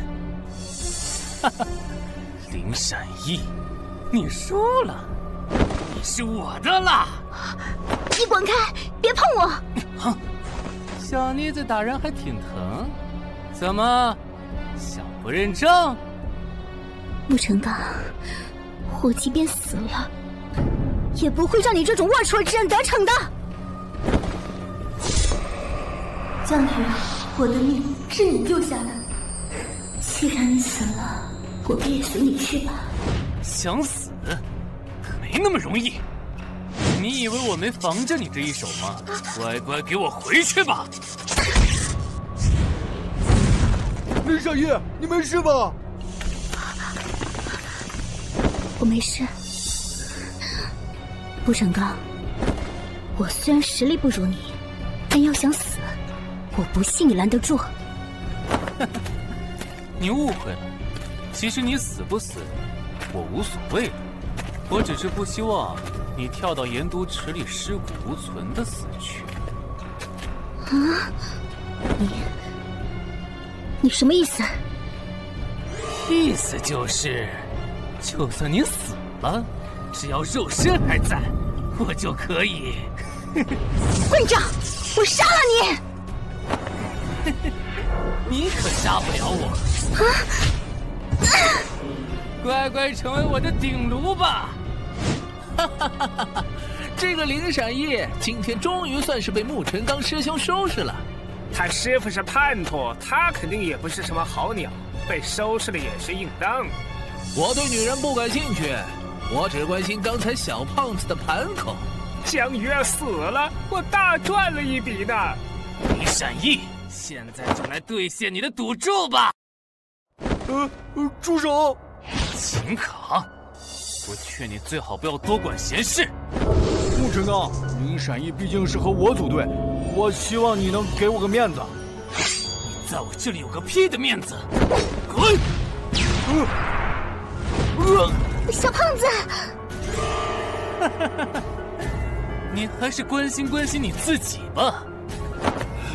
沐尘刚，这里是熔岩秘境，不是圣域战场。你残害同门，圣主一定不会放过你的。哼，秘境探险本就生死有命，各凭本事。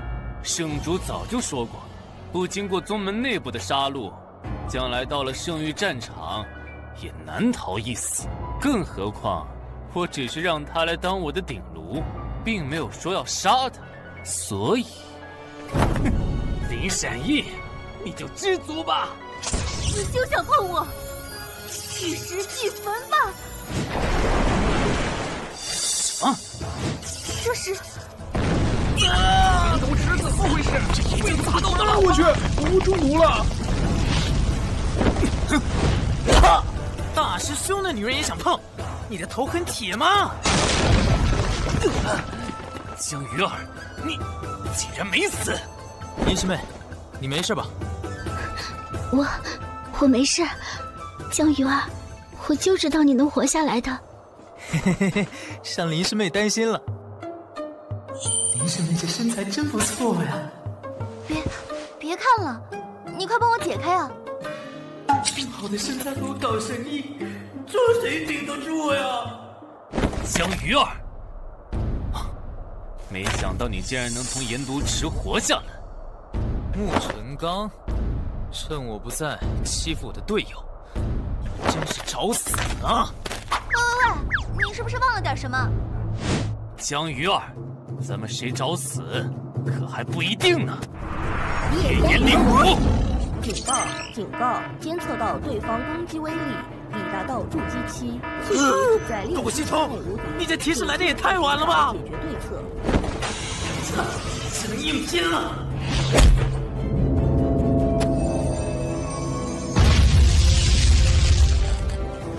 大师兄不会没死在盐毒池中，而被那对狗男女给干废了吧？刚刚那一击似乎已经有了筑基境的实力啊。没想到沐晨刚和林雨竟然有了筑基期威力的合体技。江鱼儿只是练气气无敌，面对这一招，怕是难逃一死了。我们站在沐晨刚这一边算是对了。小胖子，江鱼儿死了，不管怎么说，现在是你输了。赶紧把江鱼儿给你那一千枚灵元丹交出来，我们也是为你好。没有江鱼儿罩着你，那么多灵元丹在你身上，小心丢了性命。喂，你们不要过来啊！大师兄还不一定死呢。这，你们放心吧，江鱼儿死定了。师尊已经传我们秘法，我与林雨合体技的威力已经达到了筑基中期，筑基期以下。绝无生还可能。你师尊没告诉你，哈，话不能说的太满。什么？什么？江鱼儿竟然没死！不愧是筑基的实力，还真是打了我一个措手不及呢。不愧是大师兄，简直是打不死的小强。他真的好强。江鱼儿。你还真是命硬啊！竟然侥幸活了下来。不过命再硬也没用，我倒要看看你能扛住几次。江鱼儿，你没死也好。当初在外门被你欺辱，今日我要多杀你几次，方能解我心头之恨。你们俩狼狈为奸的实力的确出乎了我预料，不过你们依旧不会是我的对手。哼不知天高地厚，看你这次还能不能顶住？江鱼儿难道还有底牌？让莫尘刚顶在前面吗？烈焰咆哮！虚假的灵兽也敢在我面前炫耀？召唤神龙！现在就让你们见识见识，什么才是真正的灵兽！小轩，给我灭了他们！什么？啊！怎么回事？这股力量足以顶得上筑基巅峰强者全力一击了吧？耶！小娟是谁啊？为什么这么猛啊？还好刚刚躲在木尘高身后，否则这次非要重伤不可。林雨，你你没事吧？我我没事，师兄，你也没事吧？我也没事。我的顶部不受伤，一会儿逃出去，我便能将其吸干，快速恢复实力。陆晨跟众生更好，只有我和他能活着离开这里。我便可以趁着其重伤将其炼化。你们是不是很失望？现在还有什么遗言要说吗？你，你竟然驯化了岩毒蟒！看来这就是你的遗言了。小娟，可以开饭了。等等，江江鱼儿，这这里是熔岩秘境，不是生育战场。残害同门，圣圣主是不会放过你的。哎呦，我没记错的话，这话好像是小胖子和你说的。是，是又怎么样？我记得你当时也说过，秘境探险本就生死有命，各凭本事。圣主不也早说过，不经过宗门内部的杀戮，将来到了圣域战场，也难逃一死。是这么说过，不过，不过那都是瞎扯淡，圣主肯定会管的。求你，你饶我一命，我愿尊你为大师兄。啊！没想到江鱼儿居然驯化了炎毒蟒，难怪江鱼儿能够在炎毒池中活下来。我们这次又站错队了。我说你们，你你要干什么？干什么？没什么，你们刚刚不是想抢我身上的灵元丹吗？我认为来而不往非礼也。你们说呢？胖胖胖爷，能能不能给给一个面子？滚远点脸还挺大。你们呢？我们完全没问题，完全没问题。那今天有一个算一个，除了身上的衣服，其他东西都给我交出来，否则我一会儿让大师兄把你们都扔进盐毒池里去。没问题，没问题，只要不杀我们，怎么样都行。衣服我也不要了，都给你，留我一命就行。该死，江鱼儿这小子不但从盐毒池活了下来，还驯化了盐毒蟒，他怎么这么好运？熔岩珠的地图还在沐尘刚的身上，不能让他就这么死了。尊我为大师兄？哼，不好意思，你不配当我的师弟。小娟，灭了他！不好，转身甲，风波！身甲竟然一瞬间就被破了，真的完了。江鱼儿的炎毒蟒也太强了吧！沐尘刚和林雨联起手来，实力已经达到了筑基期，却没想到江鱼儿技高一筹啊！大师兄果然无敌，看来以后要打赌，不管遇到什么状况，都要站在大师兄这边。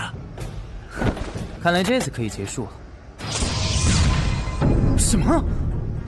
小军，没事，别怕别怕。这家伙是什么人？竟然连筑基巅峰的小圈都不是对手，难道他是金丹境强者？啊！是师傅口中说的那个接应我们的神秘人。太好了，这下得救了。江鱼儿，准备好受死了吗？雷彪，你难道是翻？死！不好！哦，刚刚那女人能轻描淡写的挡下炎毒蟒的进攻，实力恐怕已经是金丹境了。大师兄这次怕是要凉啊！放屁！我们因为不站队大师兄吃了多少亏了？这次我必须站在大师兄这边。说的没错，之前每次站在大师兄的对立面都输，这次我们一定要坚定信念，站队大师兄。大师兄每次都能逢凶化吉，这次一定也能赢。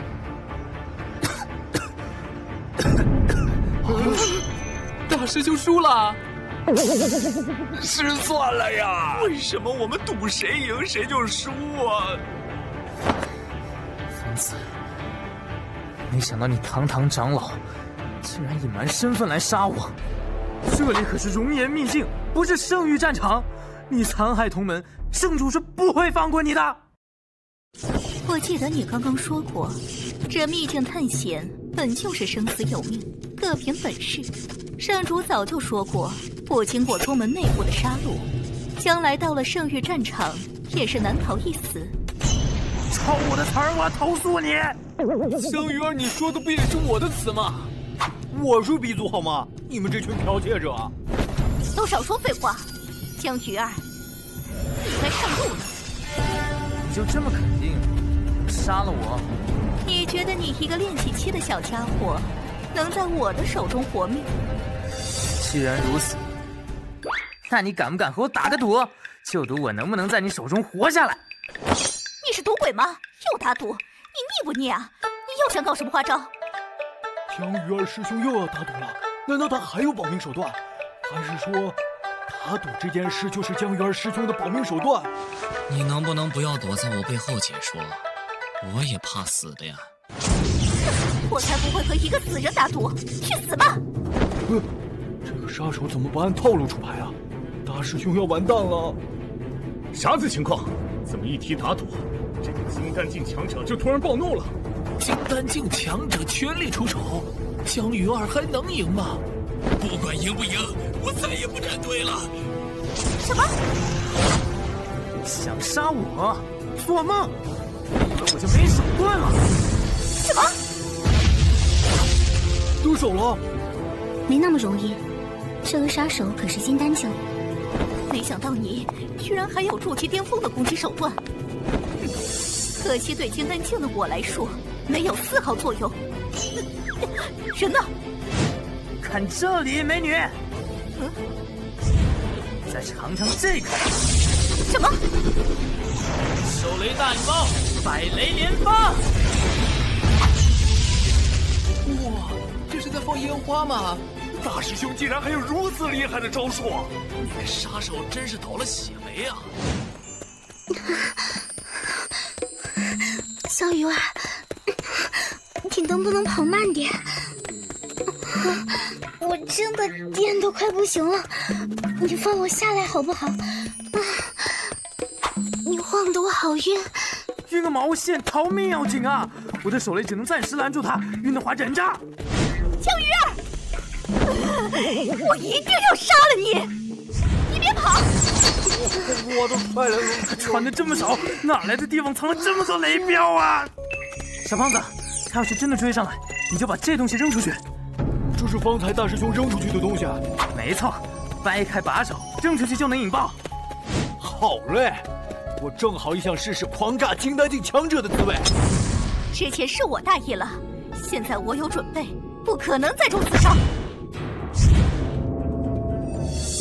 怎怎么又回来了？呃，该死，竟然被自己雷给炸了！江鱼儿，我看你们还有什么手段？该死，事情不好办啊！让我来吧。什么情况？他还憋着大招呢！什么？风冰珠在你身上？这丫头体内居然蕴含着如此之大的能量！风风冰珠不是被五长老带走了吗？怎么会出现在林闪逸身上？难道？没想到风冰珠一直在你身上，真是天助我也！什么？该死的人是你！气势！大师兄，林闪仪只有炼气期，根本没办法催动风冰珠的威力，他抵挡不了多久的，咱们快跑吧！不行，他为了救我们，不惜动用体内封印的力量，我们怎么能弃他不顾呢？可以，灵闪逸直接动用风冰珠的力量，就是为了给咱们创造逃跑的机会啊！咱们别辜负了他的一片苦心。风冰珠，你是说他体内蕴含着一件法宝？对啊，就是传闻五长老偷走的风冰珠。没想到在林闪一的体内，原来林闪一和五长老始终都是一伙。呃，但是不应该啊，这么多年都没暴露，为什么要在这个时候暴露呢？不会是仅仅为了救大师兄你这么简单吧？大师兄你也没有那么大的魅力啊！原来如此，我有办法。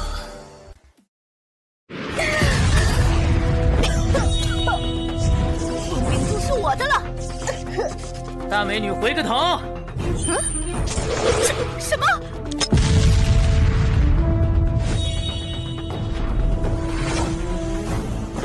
这东西是我的了。大师兄，炼气巅峰只能催动风冰珠最基础的能量，根本不是他的对手，而且还会遭受反噬啊！一层的基础能量不够，那就多来几层。天赋神通复制。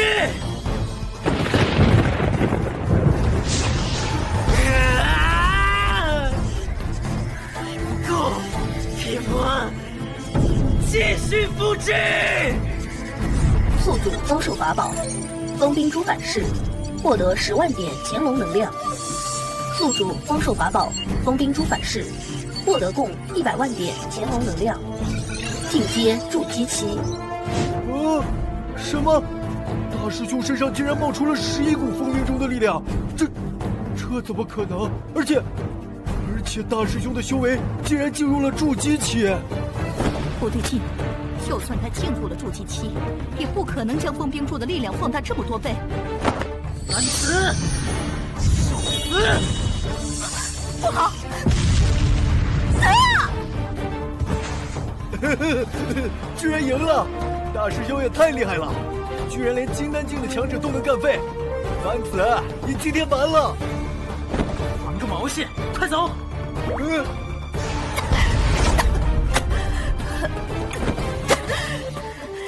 江鱼儿，你以为你逃得掉吗？封冰珠是与熔岩珠齐名的法宝，无论如何我都要得到。大师兄，咱们刚刚占据优势，你为啥不一鼓作气把贩子干死啊？干死个鬼！我刚刚那一招用尽了全部力量，再不走，咱们咱们就都得玩完。大师兄，你你这是怎么了？我真，哎呀，真的不行了！大师兄，你不能倒下，你倒下了我们怎么办呢？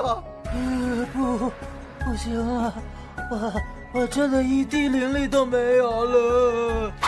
林闪一，快醒醒啊！大师兄不行了，怎么办呢？你俩快好起来，我还小，我承受不住啊！苍天呐，大地啊，谁能来帮帮我呀？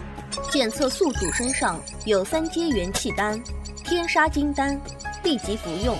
可恢复大量灵力。天杀金丹就是三阶元气丹，还能恢复灵力。太好了，这回我终于有救了。哦，糟了！闪翼释放风冰珠的反噬来了。大师兄，怎么办啊？丹丹药，丹药。明白了，大师兄，你是让我将这个丹药给林闪一吃，对吧？呃，对，对。好嘞，大师兄放心，我一定会给林闪一服下去的。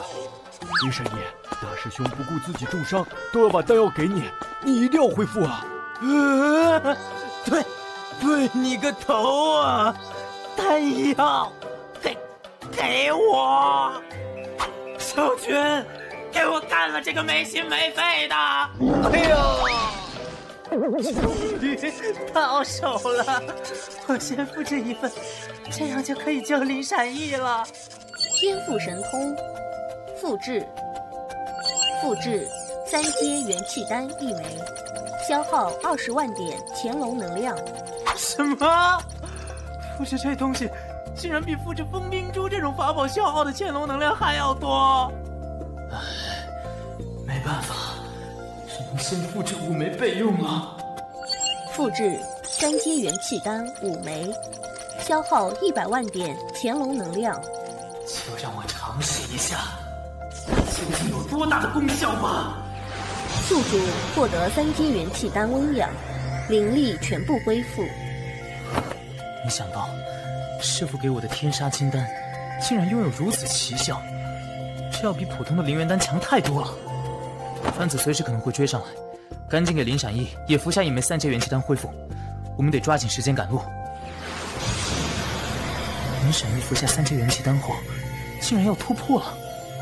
趁着林闪翼突破，我也得看看我的收获。我刚刚可是复制了十颗风冰珠，这等至宝，我……我的风冰珠呢？我明明放这儿的呀！猪猪啊，我不能没有你，不在这儿，也不在这儿，那可是一百万的乾隆能量换的呀！啊！风冰珠居然全部消失了，我连再多复制几枚的机会都没有了。嗯，这是风冰珠的波动，风冰珠难道融入我的身体里了？难道我从炼气期晋级到筑基期，和融合风冰珠有关？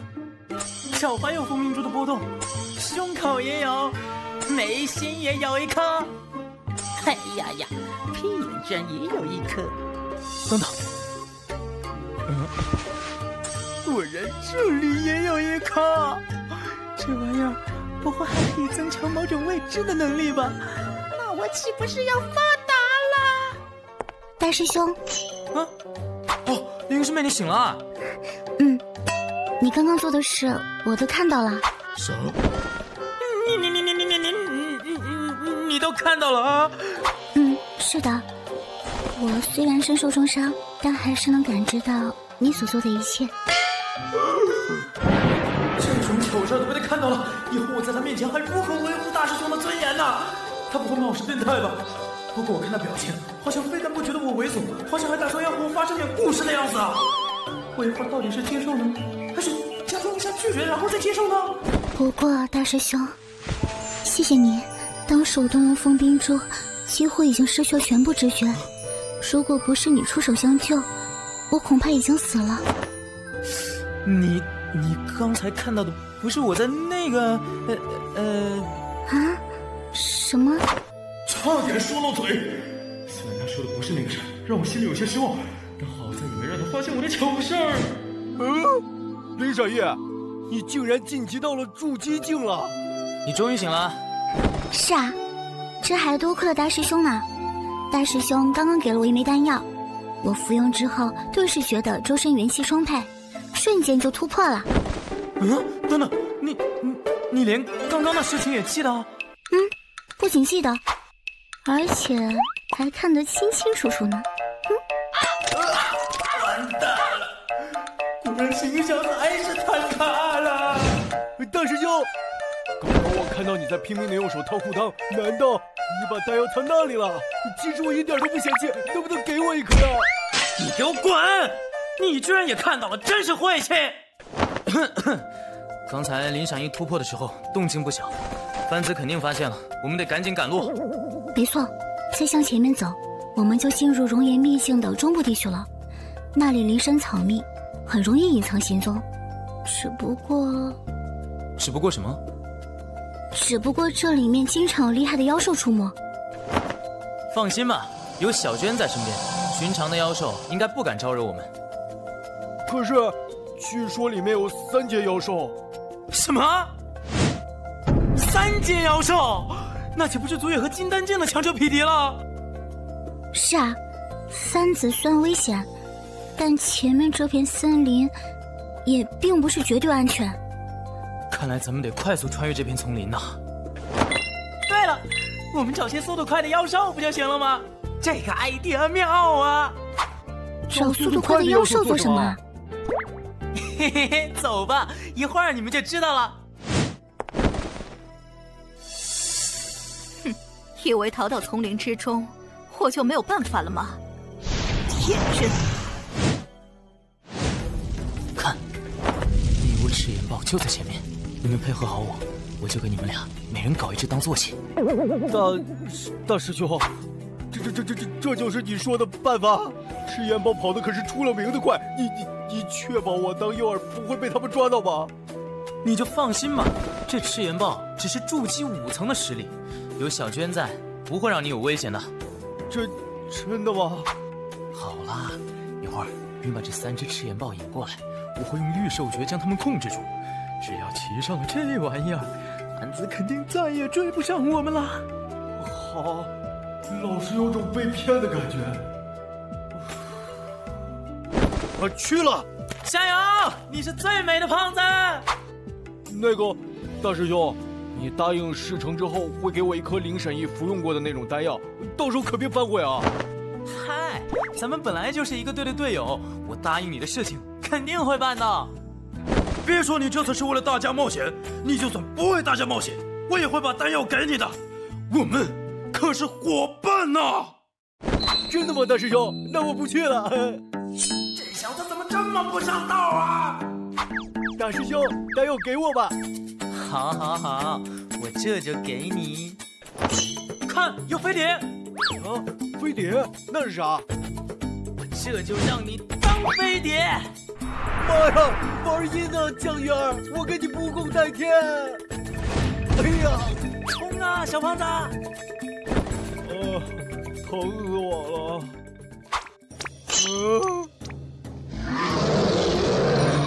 啊！啊！妈妈咪呀！娘亲母上大人何家，快来救救我呀！豹哥，那那什么，我我说我是路过的，你们信不信啊？给个机会好不好啊？妈呀！真行符！救命啊！开山盾挡住啊！呃化金枪，狼牙刀！别追了！都是江鱼儿这个混蛋惹你们的呀！江鱼儿，快救我呀！这小胖子宝物还真不少啊！大师兄，求求你了，救命啊！大师兄，这么下去，秦卡迟早要被抓住啊！放心，这小胖子血厚着呢，一会儿还要给他一颗三阶元气丹，我得多给他放点血才能回本儿。大师兄，我啥也没有了，你再不出手，我就真的要被搞死了呀！这几只赤炎豹灵力消耗的差不多了，小军趴下，来大！大师兄，快救我呀！放开那只胖子，冲我来！哎呀！兽诀，发动！进化三只筑基五层赤炎豹成功，消耗十五万点潜龙能量。搞定！死胖子，以后你要多向我学习学习，遇到事情不要慌，先摆个 pose，淡定点，冷静点，这样才能解决问题嘛。我真是太帅了！大大师兄，江鱼儿，嗯，怎么了？你们干嘛用这种表情看着我？难道你们不是应该满脸崇拜的注视着我吗？你你后面，后面。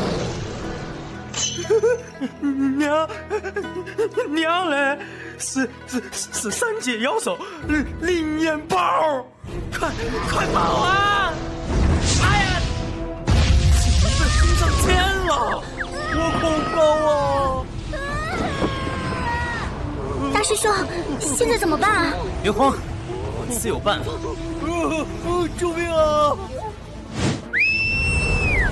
赤炎豹，过来，快骑上，走！啊啊啊！我没骑上啊，我还没骑上去，等等我呀！啊，为为什么倒霉的总是我，我的胸好痛啊！哎呀，大师兄救我呀！这个笨蛋！哎呀，终于得救了，吃土吃的我都快饱了。哎呀！啊，怎么了，林神医？你看我的目光咋还害羞起来了？你不会暗恋我吧？小伙子，你想多了，还是看看你的胸口吧。胸口？雷，露点了，这不完蛋了吗？大师兄，你怎么不早说呀？我还是个处男啊！这事儿传出去以后，我还怎么找媳妇儿啊？找什么媳妇儿？我还是单身呢。好啦，你们不要吵啦！咱们带走灵元豹的幼崽，他不会放过我们的。对啊，这三只赤岩豹都是灵岩豹的幼崽，耐力也比不过灵岩豹，我们迟早要被后面的灵岩豹追上的，怎么办啊？放心，我早就有对策了。咱们来个祸水东引，借刀杀人。赤岩豹，掉头！该死的！江鱼儿这小混蛋的速度还真是快，竟然让我跟丢了。啊！江鱼儿，天堂有路你不走，地狱无门自来投。江鱼儿，这次我看你还往哪里跑？哈哈哈这句话我也想对你说。哼嘴硬，受死吧！听我口令，跳！好像有点不对劲啊。什么？竟然是灵岩豹！该死！该死的！这灵岩豹的实力和我不相上下，不好对付呀！番子，我给你准备的礼物，你还满意吗？江鱼儿，你给我等着，本座绝对饶不了你！哼，还饶不了我？我看你还是先摆脱这只灵岩豹，再给我放狠话吧。啊！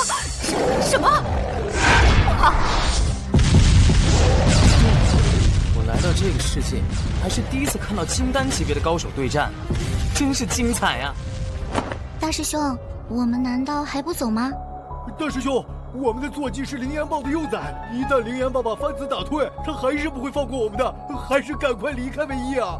在我的老家，有一句俗语，叫做“鹬蚌相争”。渔人得利，鹬蚌相争，渔人得利。难道说大师兄想要当那个渔人？没错，灵岩豹和番子势均力敌，最后肯定会两败俱伤。到时候就该我们出场了。大师兄果然深谋远虑，实在让人佩服。小意思。你们俩在说什么啊？我怎么一句也听不懂？大师兄是想要改行当渔夫了吗？这有点屈才了吧？看来要出结果了。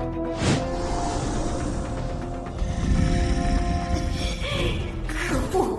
番子，已然重伤，看你现在还能不能接下我这一掌！受死吧！该死！当初江菊儿的全力一击，都让我受了些许内伤，如今我和林岩豹两败俱伤。江鱼儿再出手，我恐怕少造，得赶紧走才行。江鱼儿，你给我等着，我迟早要扒了你的皮。跑得还挺快，大师兄，你怎么不追了？那番子重伤，现在正是解决他的好机会啊！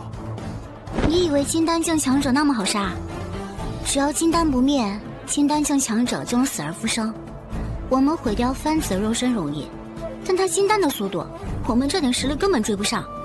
若是逼急了他，自保之下，我们都得完蛋。闪翼说的对，我们暂时没必要和他鱼死网破。果然还是大师兄深谋远虑。小 case，小 case。嘿嘿，我根本就没想那么多，好吗？我只是想着赶紧趁着灵焰爆重伤，直接用御兽诀把他御了。到时候骑着一只三阶妖兽，多威风！看来这灵岩豹受伤不轻啊！哎呦，实在是太可惜了。如果大师兄刚刚能够抓住番子，直接发动御兽诀将其控制住，那我们在整个原初圣地岂不是能横着走了？你小子怎么不早说？这还用我说吗？一只三阶畜生，一个金丹境美女，傻子都知道怎么选吧？哎呀，路走窄了。看来还是你格局大呀！下次有空教教我。嘿嘿嘿，多谢大师兄夸奖，完全没问题。好啦，你们别闹啦。这是灵岩豹怎么办？我已经错过了美女，这只三阶妖兽自然不可能再错过。正好让你们全家团圆。御兽诀。嗯，这什么情况？大师兄，他。他好像在祈求你放过他的孩子，他愿意臣服于你。什么？大师兄，你怎么不继续施展你的御兽诀了？赶紧出手啊！哎，算了。大师兄，你已经错过了番子，可不能再错过灵元豹了。只要咱们收服了这东西，在这熔岩秘境肯定是横着走啊！我们当时收服赤焰豹，也只是为了躲避番子的追杀。如今。番子已经重伤逃遁，我们也没必要对这些妖兽赶尽杀绝。御兽诀，解封！你们就好好团聚吧。大师兄，你，你解除了对这三只赤焰豹的驾驭能力？没错，上天有好生之德，这只灵岩豹的母爱感动了我，我不想为一己私欲再对他们出手了。大师兄。你对这些畜生讲什么感情啊？你这是妇人之仁，这是在浪费机会啊！这样怎么能成大事呢？以后我还怎么和你混啊？这可是三界妖兽的，这不是扯淡的吗？这，你这样我还怎么赚大钱？我怎么买房娶媳妇啊？这个给你，这是天杀金丹，我们之前说好的，你负责引出赤炎豹，我给你丹药。天杀金丹。是那个服用之后就能立刻恢复全部灵力的丹药吗？太棒了！如果我的父母知道我被一股莫名的力量阻到了这片世界，他们也会不顾一切的想要救我吧。我一定要积攒足够的实力，打破这片时空，重新回到家人身边。加油！大师兄似乎有心事啊。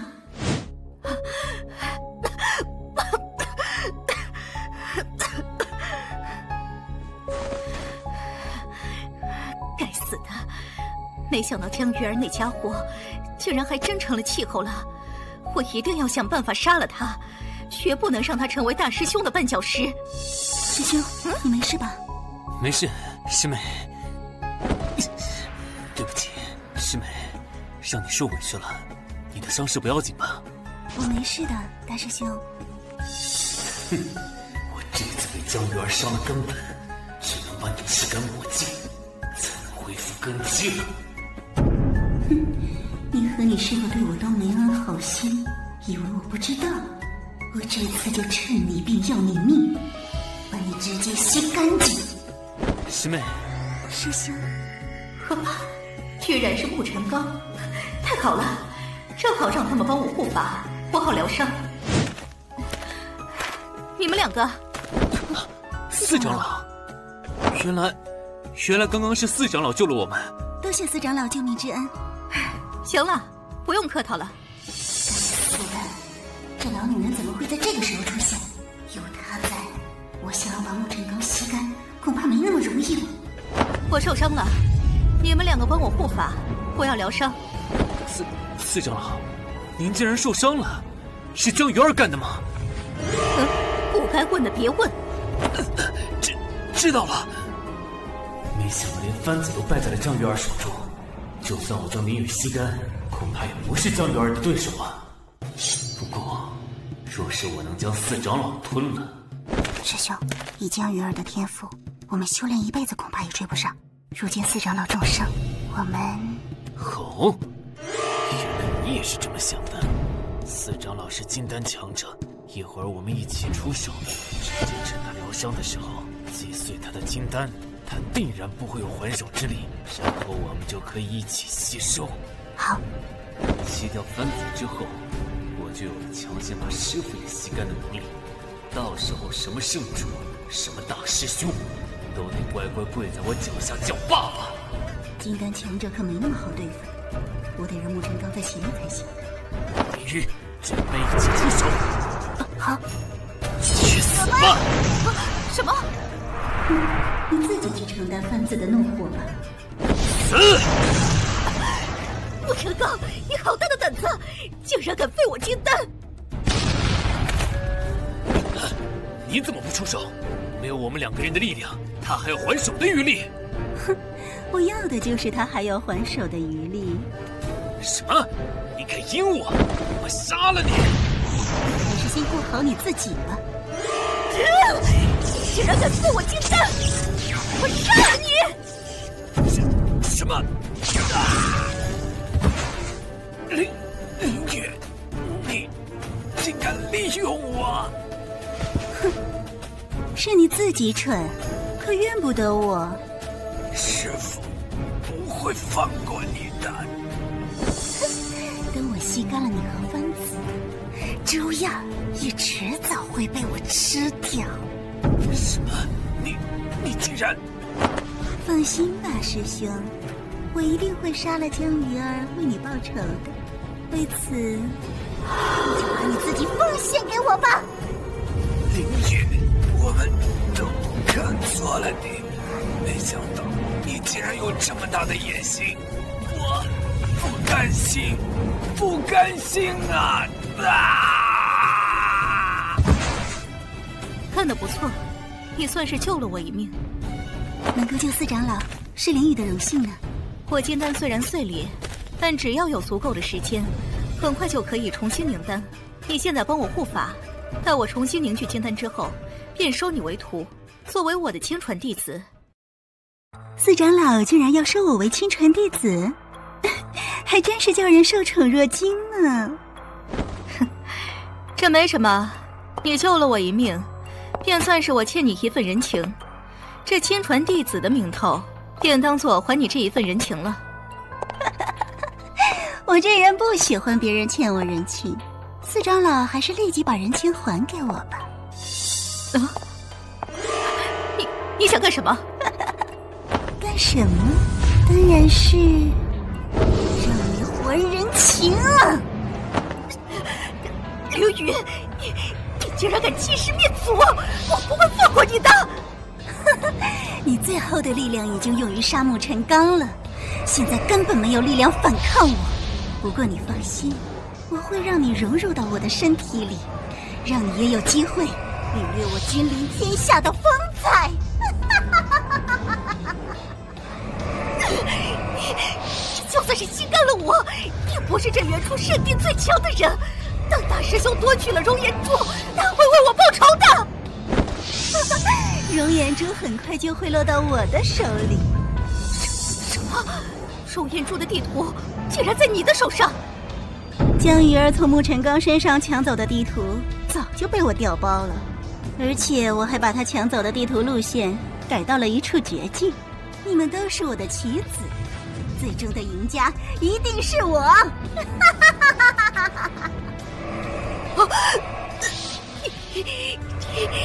是魔鬼！如今我已经是金丹境强者，我灵玉终将成为整个原初圣地的女王。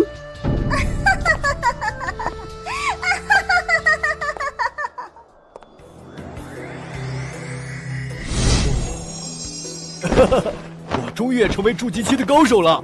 没想到秦卡也突破到筑基期了，大师兄，您的天杀金丹实在太厉害了。好了，此间事了，我们抓紧去下一个目的地吧。下一个目的地是哪儿啊？是，熔岩珠所在的熔岩火山。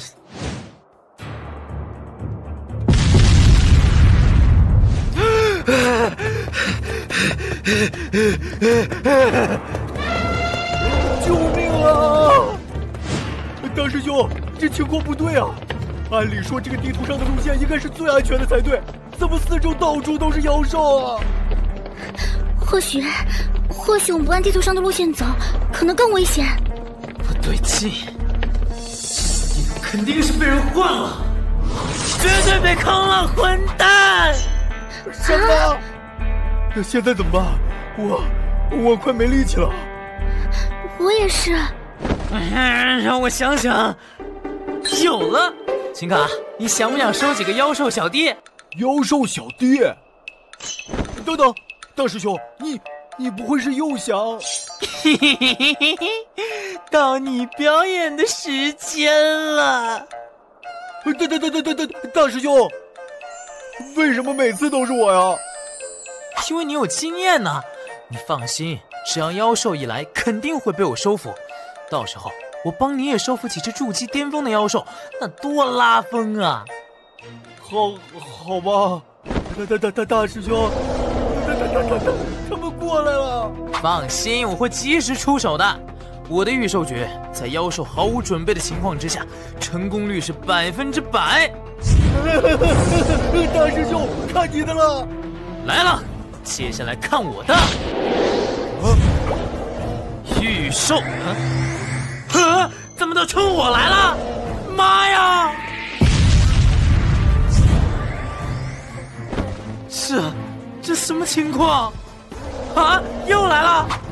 嘿嘿，大师兄，现在你也有经验了。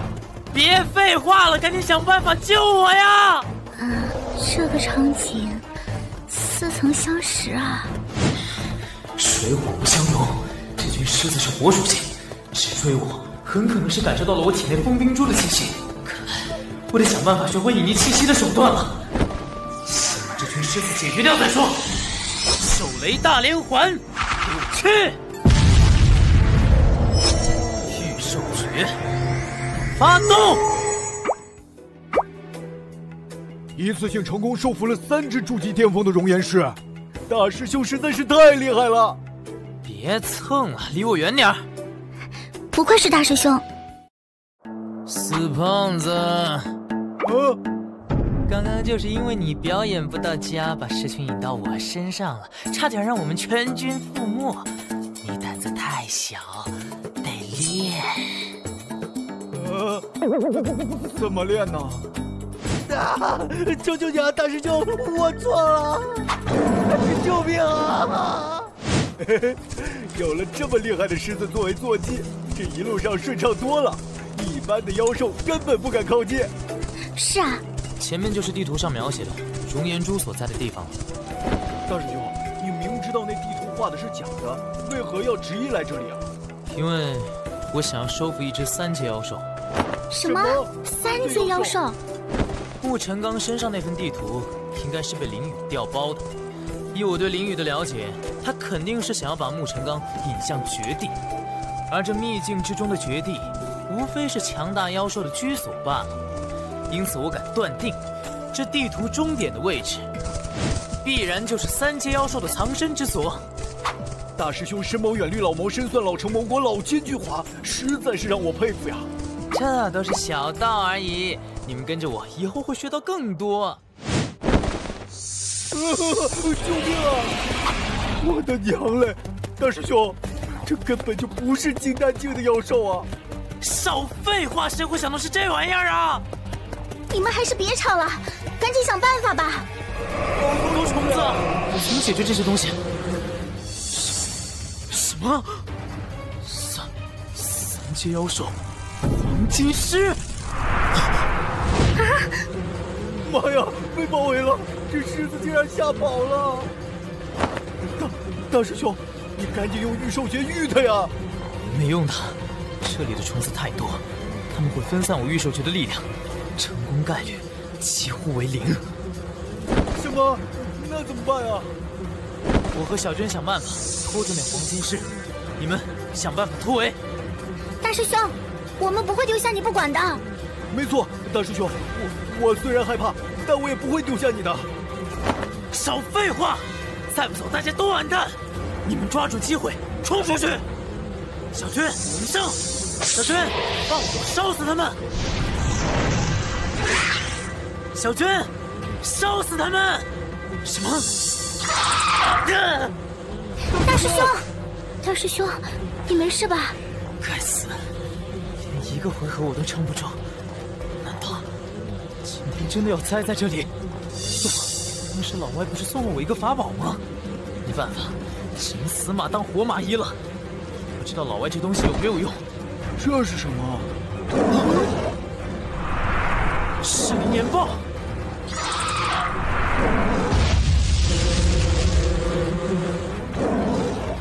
好机会！四周的飞虫被震退，我可以用御兽诀了。御兽诀，搞定！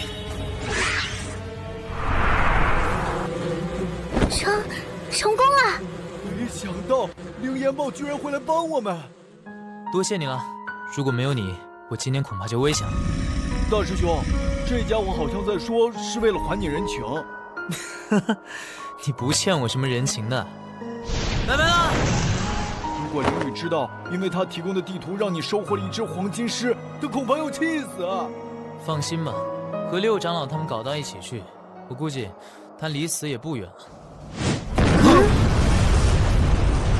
竟然是岩豹！岩豹，岩豹是什么？就是熔岩秘境的火属性能量全面爆发。传闻每三千年到四千年才能爆发一次，有些弟子一辈子都没机会见识到一次。这种好事竟然让我们赶上了！这，呃，这怎么看都像是灾难呢？怎么成了好事了？大师兄，现在宗门这些长老，你都认识吧？当然了，除了你师傅，其他长老我基本上都见过了。宗门的这批长老，就是借助三千八百年前熔岩秘境的那次岩爆才崛起的。岩爆虽然会带来一些危险，但却有无数机遇。没错，岩爆开启，所有的妖兽实力都会下降，便于我们猎取妖丹、夺取妖兽守护的天才地宝。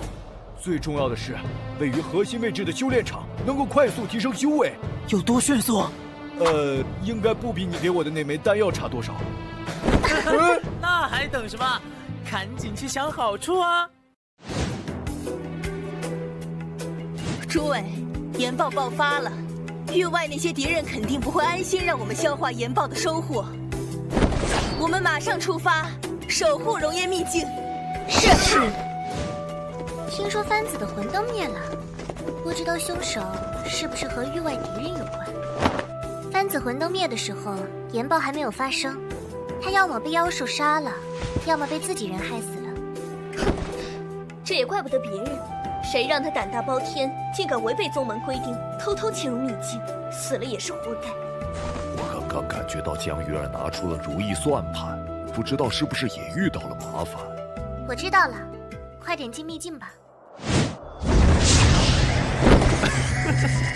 没想到，竟然能让我赶上研爆，这一下我突破到金丹境之上的把握就更足了。赵星辰，我就知道你不会错过这次熔岩秘境开启的，这一次，我定要让你身败名裂，让所有人都看清你的真面目。圣主。和大师兄说过很多次了，不必这么多礼，叫我师妹即可。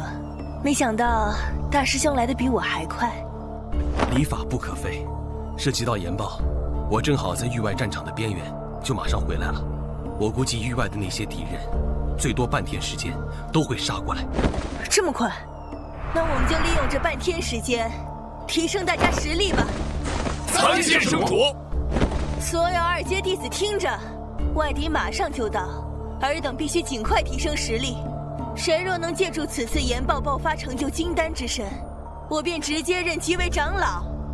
是，太好了，我们太幸运了。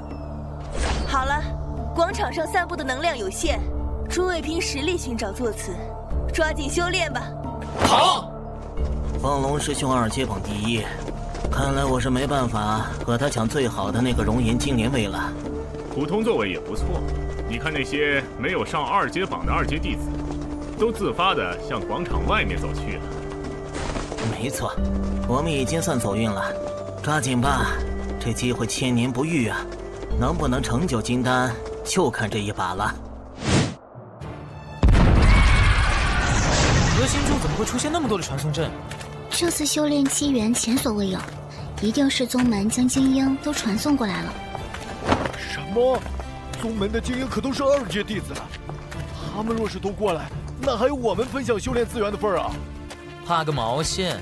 你忘了，我们现在也都是筑基期，你大师兄我更是筑基无敌，对付那些二阶弟子还不是手到擒来？啊！前面就是熔岩秘境的修炼广场了，只要进去就能修炼。嘿嘿，那还等什么？咱们赶紧进去啊！哎，胖子，你等等！滚！普通的一阶弟子也敢来抢修炼位置，不知天高地厚。大大师兄，这些人太猖狂了，一言不合就打我呀！哼，我看是你太没礼貌了。你看我是怎么进去的？没完没了了是吧？这地方是你们这种卑贱的一阶弟子能来的吗？大师兄看来也不灵嘛。啊！该死的！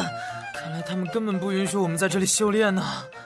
大师兄，现在怎么办？哼，我还真就不信了。这次要是还不好好和我说话，可就别怪我不客气了。两位，我还敢来，真是不长记性。死！还来？你们以为小爷没事是吧？什么？说说吧，师弟，这次座位次序都是按照实力划分的，而且修炼时间紧迫，所以我们刚刚才急着赶您走，怕您影响我们吸收研爆能量。啊，是啊是啊，这是圣主定下的规矩，可不关我们的事儿。而且刚刚师弟已经证明了实力，你在这里修炼，我们完全没意见了。师弟啊。那里可不是随便能去的地方，我都已经进入筑基境三年了，还没资格呢。是啊，能留在广场上的都是进入了二阶榜的人，实力都在筑基期七重以上。我劝师弟还是谨慎一些，别去招惹他们。既然是拼实力，那就好办了。所有来吧，没有人敢阻拦你们。大师兄，我知道你实力很强，一两个筑基期弟子打不过你，但一会儿若是犯了众怒，咱们咱们能挡得住吗？安心了，今天有我在，咱们三个必须坐广场最好最牛的位置。我们表示相当不幸。咱们到了。如此清纯的能量灌输，难怪小胖子说这次的机缘非同寻常。大师兄，我们怎么办？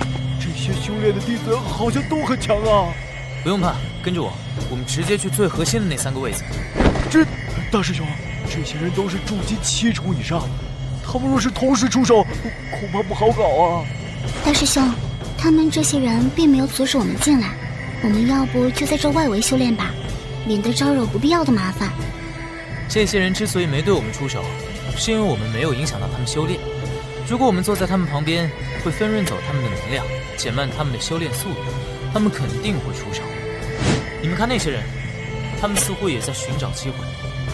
你们放心，既然你们跟了我，这几千年一遇的机缘，我必须让你们享受最好的。走吧。第四个江鱼儿，没想到命这么大，不过也好，今天我会让你生不如死。哎，你看那三个人，居然去了熔岩梯连位。金银铜这三个位置，就算是在平时修炼都是事半功倍，如今借助岩爆，更是一日千里。那三人都是有希望晋级金丹的，居然有人敢抢那三位的位置？看穿着，这三个家伙好像只是初阶弟子啊！哼，不知天高地厚，等着瞧吧，一定有他们好受的。大师兄。我有点担心，放心吧，三位师兄，你看，你们都霸占着最好的位置许久了，我和我的朋友也想在这里修炼，能不能麻烦让一下？嗯，小菜，把这三个废物扔出去，我不想耽误时间。是。小子，听到我家公子的话了吗？你是想竖着出去，还是想横着出去？选个死法吧。抱歉，我还没打算出去。筑基无敌的事情，还是晚报一会儿的好。前期先用手雷对付这些家伙。赵泰果然出来了！传闻这赵泰是当年凤龙大师兄在域外战场收的奴仆，实力早已是筑基巅峰了。我严重怀疑这三个家伙是域外敌人派来的，故意影响凤龙大师兄，不让他及时突破的。说的也是，哪个脑子正常的人会去招惹凤龙大师兄啊？我死！分身，和我来这一套可没用。这是什么招式啊？竟然有筑基巅峰的威力！我看那小子明明只是筑基初期的实力啊！难道这小子是在扮猪吃老虎？你，你竟然也是筑基巅峰强者？什么？这人不是一阶弟子的大师兄江鱼儿吗？他只是一个一阶弟子，怎么可能是筑基巅峰？这也太夸张了吧！自从我们成立以来，我还从未听说过有哪个一阶弟子修为能够达到筑基境巅峰的。圣主，如今正逢岩爆爆发，域外敌人随时都可能冲过来抢夺，当务之急应该让二阶弟子尽快吸收岩爆能量。以期能够产生金丹境的强者，可不能让一阶弟子过来捣乱呢。哼，你眼睛瞎了，没看到刚刚江鱼儿与那个赵太打得不相上下？显然，江鱼儿也已经是筑基巅峰了。没错，我徒儿既是筑基巅峰强者，也有机会突破到金丹境，他有资格在这里争夺金莲席位。你们咋的？该死的！番子也不知道哪儿去了，没有他的支持，我对上许月和联合，独木难支啊！好了，不要吵，江鱼儿有资格争夺金莲席位，不过另外两人不可以。小子，刚刚你那一招消耗不少吧？我倒是要看看咱们谁的底蕴深厚。千变万化，又来这招，竟然是千变万化，这可是凤龙大师兄的绝技啊！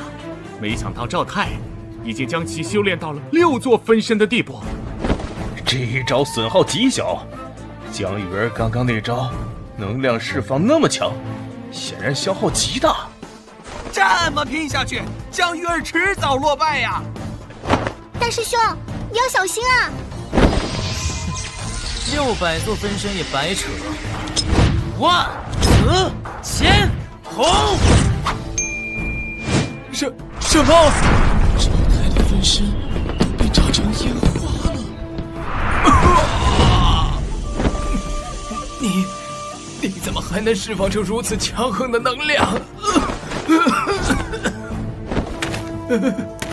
嘿嘿，现在你知道我这招为什么叫万紫千红了吧？就是会打得你脸上万紫千红。这这怎么可能？江鱼儿竟然击败了赵太，太不可思议了！震撼我全家呀！没想到你竟然能击败我的奴仆，倒是让我有些惊讶。我要的可不只是让你惊讶那么简单，我要的是你的位置。有意思。既然你击败了赵太，那我便给你一个挑战我的机会。为了不让别人说我以大欺小，十招之内，你要是能碰到一下我的衣角，便算你赢。凤龙大师兄终于出手了。这江鱼儿也太不知天高地厚了，竟然敢招惹凤龙大师兄！他不知道凤龙大师兄在圣地从未有过败绩吗？他以为他能打败筑基巅峰的赵泰就无敌了？哼，筑基巅峰也有强弱之分呢。小子，你怕是不知道，就算是筑基巅峰，也分为好多种。很不巧的是。我是最厉害的那种，那可巧了，我是筑基期无敌的那种。不知道我这筑基期无敌对上你这筑基期最厉害，最后会鹿死谁手呢？那就让我们拭目以待吧。我不想浪费修炼时间。凤龙斩，居然是凤龙斩！传说这是他在进入筑基巅峰时，突然梦见了招式。他也正是依靠这一招，在筑基境无敌的。这凤龙一出手就用绝招，江鱼儿就算不死，恐怕也要脱层皮。哼，比试还没结束呢，鹿死谁手尚未可知。啊，这才多久没见，小鱼都能正面和凤龙过招了，我真是越来越看不透他。万紫千红。什么多手榴弹竟然都拦不住他！大师兄，小雨儿，哼，能破掉我一条凤龙，你的确有傲人的资本。不过可惜，最终赢的人还是我。可惜个毛线！嗯，我刚刚那只不过是在试探你而已，你还真以为你无敌了？什什么？大师兄，太好了，香玉儿没事。注意，我要认真了！哼，猖狂的家伙，就算你没死，但你刚刚中了我一道凤龙，依然是强弩之末，就没必要再称。我怎么可能？太厉害了！这是偷袭，好快的速度！年轻人，你你太不讲武德了！这是偷袭！你不是说你筑基巅峰无敌吗？怎么还怕偷袭呢？哼，牙尖嘴利，我看你怎么抵挡我的凤龙斩！哼，什么垃圾凤龙斩！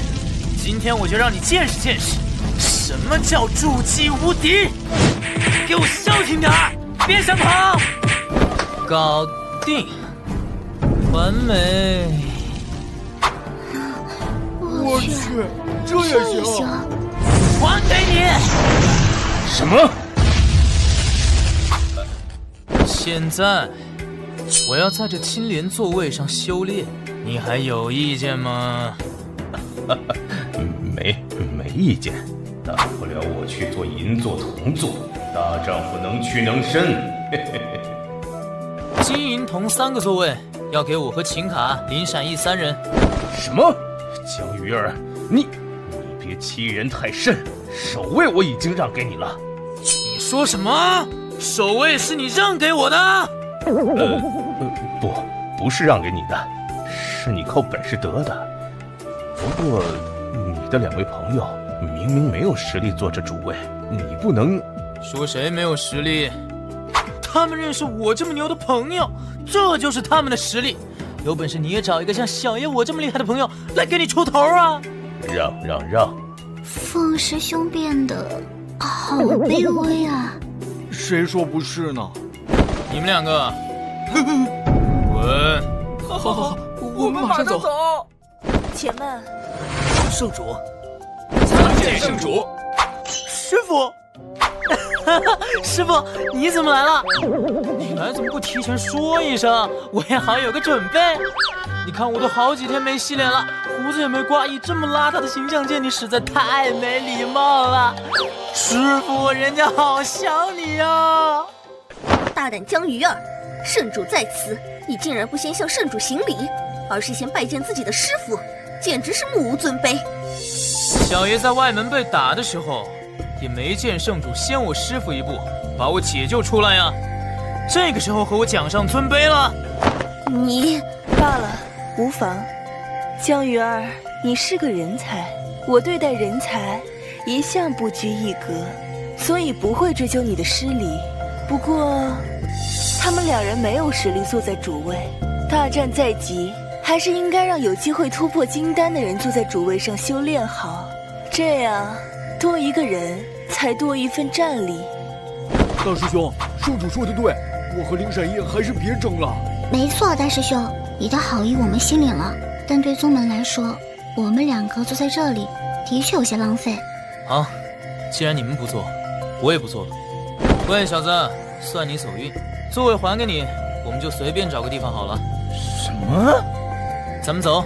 大师兄，你你没必要为了我们浪费这个机会啊。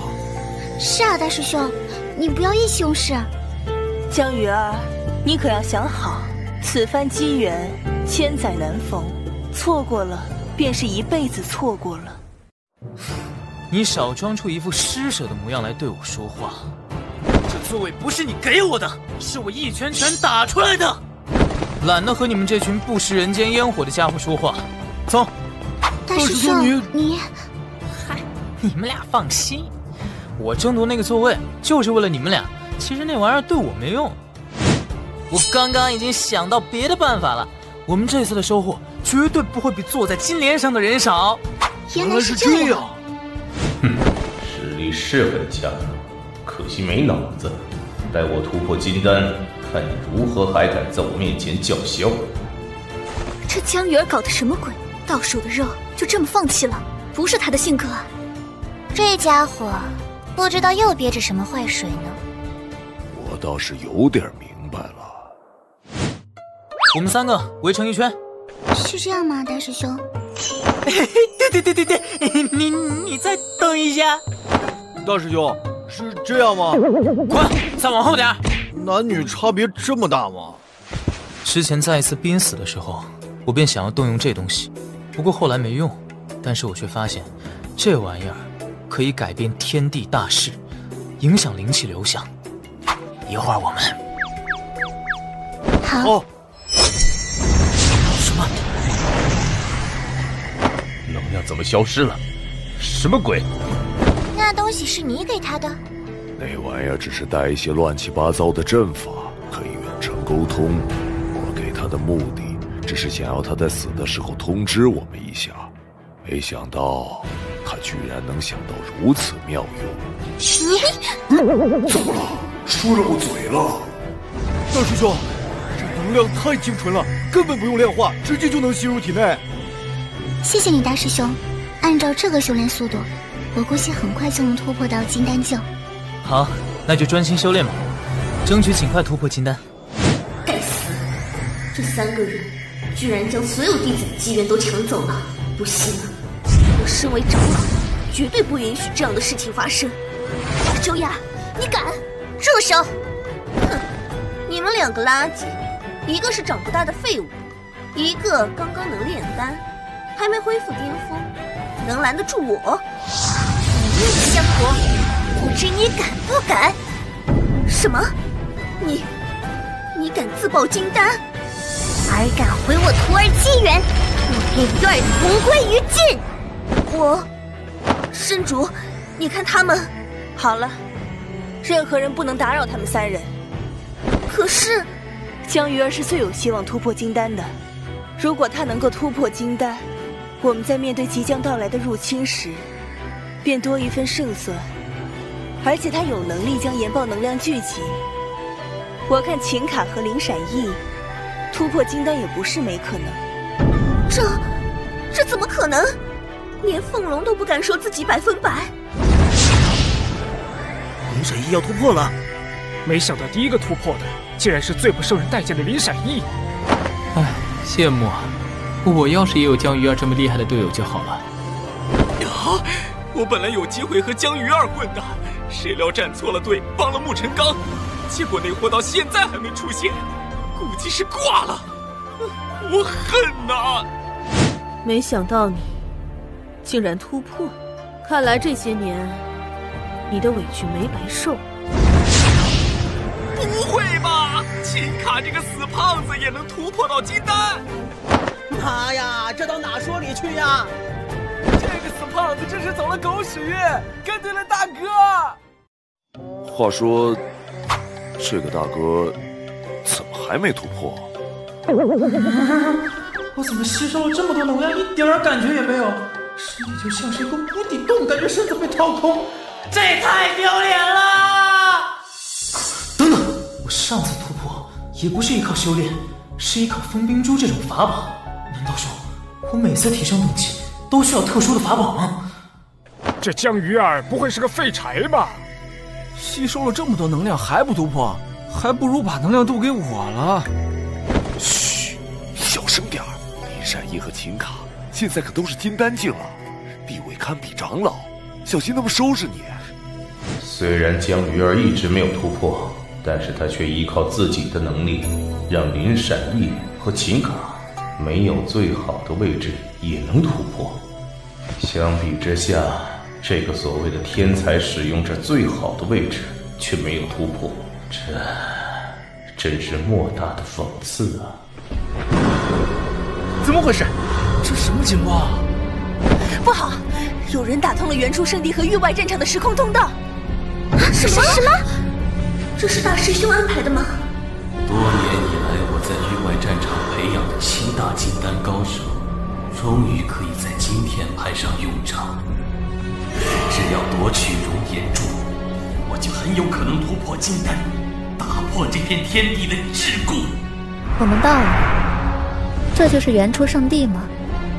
下面的，我们是为熔岩珠而来。哼，你们人数好像不太够啊！仅仅七名金丹，就敢闯我原初圣地，简直是不知死活！明明是你们人不够，对吧，小师兄？什么？我等这一天已经上百年。大师兄，你背叛了上帝，竟然是你！大师兄不是说他身边只有我一个女人吗？先是班子，现在又来了一个。洛薇，事到如今，我就不再隐瞒了。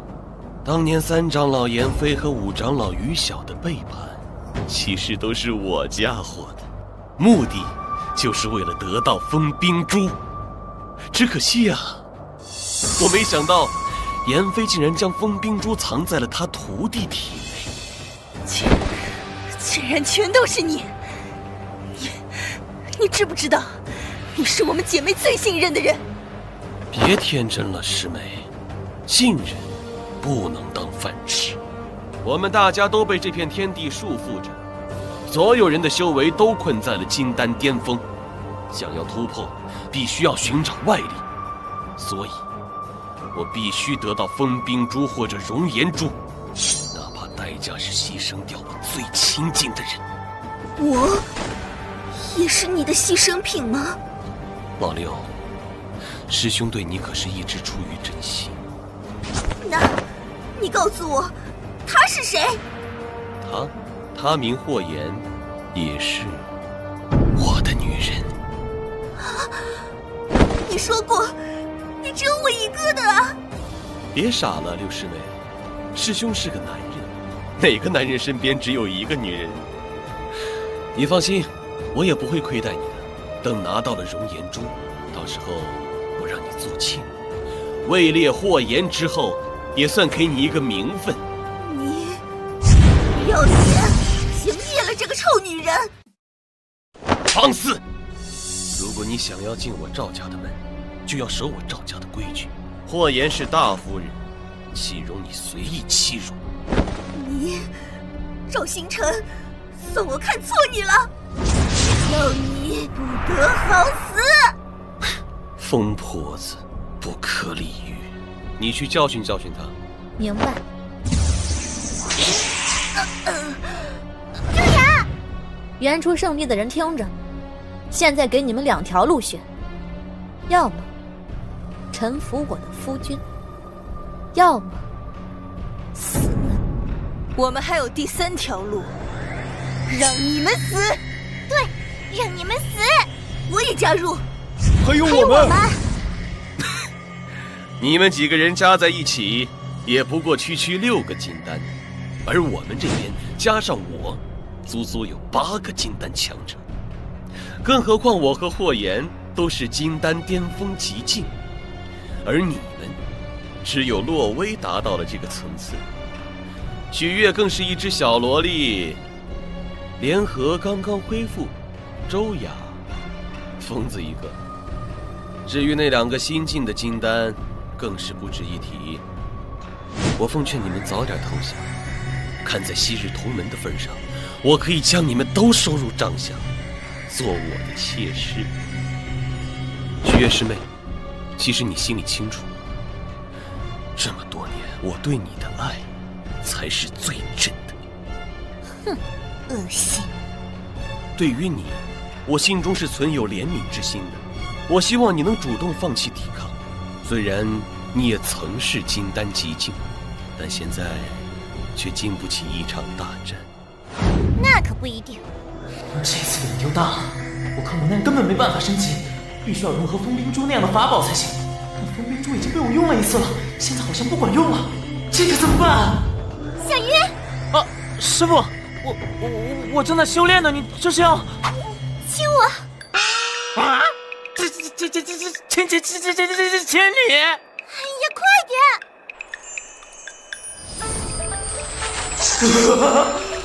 太爽了！啊，结束了。遭到情欲暴击，乾隆体质能量暴涨一千万。这也太爽了吧！看什么看？都赶紧去给我修炼！没看到入侵者都来了吗？呃，是是。师傅这边似乎实力不够啊，我得想办法。尽快提升实力去帮忙，可是我现在身上也没什么法宝了呀。嗯，来不及了！真死马当活马医，不知道老外送的这个如意算盘能不能帮我升级？系统天赋，复制，消耗一百万点乾隆能量。啊！我要复制整个算盘呢。为啥耗费了一百万乾隆能量，就出现了一个小珠子？这小珠子是什么玩意儿？这好像是算盘上的一粒算珠啊！一百万只能复制算盘上的一枚小小算珠，这算盘不简单呐！啊！胖子，闪一！大师兄，赶快跑！对方的金丹高手太多了，我们挡不住了。你们帮我护法，我马上突破到金丹。大师兄，即便你突破也没有用啊。是啊，对方有八名金丹高手，而且有两个是极境，还是趁着现在有时间赶紧逃吧。我去顶一顶。啊？这人谁啊？三三三三长老。啊，师傅！你们两个先保护江鱼儿突破，我可以抵挡他们一会儿。快点突破，我挡不了多久。这女人怎么如此肯定我能突破？难道之前她一直在暗中观察我？大师兄，赶紧的吧！啊啊，好，希望你别让我失望啊！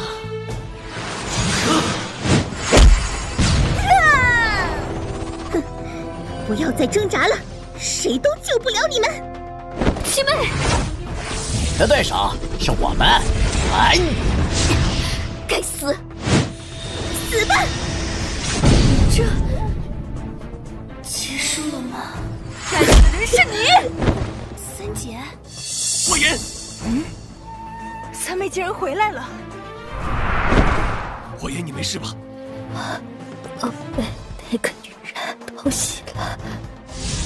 三妹，这么多年来，我们冤枉你了。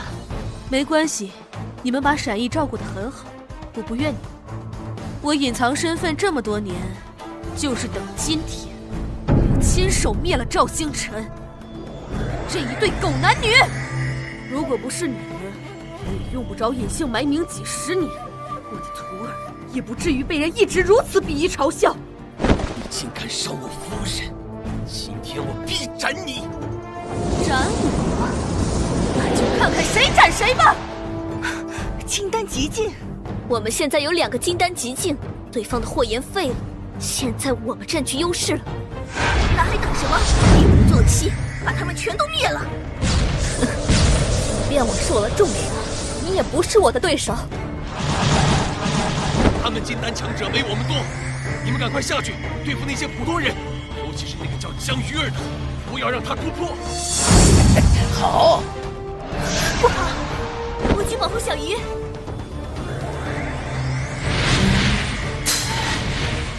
这金丹境怎么这么难搞？我的肚子好疼，好像要拉了。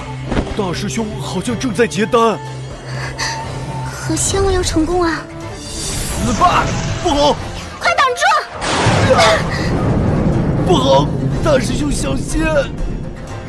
大师兄，快躲开！来不及了，休想无图！小鱼，你放心，为师在，谁也伤不了你。连师傅都来保护我了，可这情况不乐观呢，得抓紧。雪月，你虽然恢复了一些实力，但远未到巅峰。我们三人都不弱于你，你拿什么保护那小子？拿命！我发过誓，不会再让我任何一个徒弟死去。哼，我倒要看看，是你的命硬，还是我的拳头硬？一起出手灭了他！杀呀！小鱼儿，我打不过他们，但却能抵挡住他们。师傅怎么了？你要为师傅好好活下去。他要自爆，快逃！晚了，来不及了！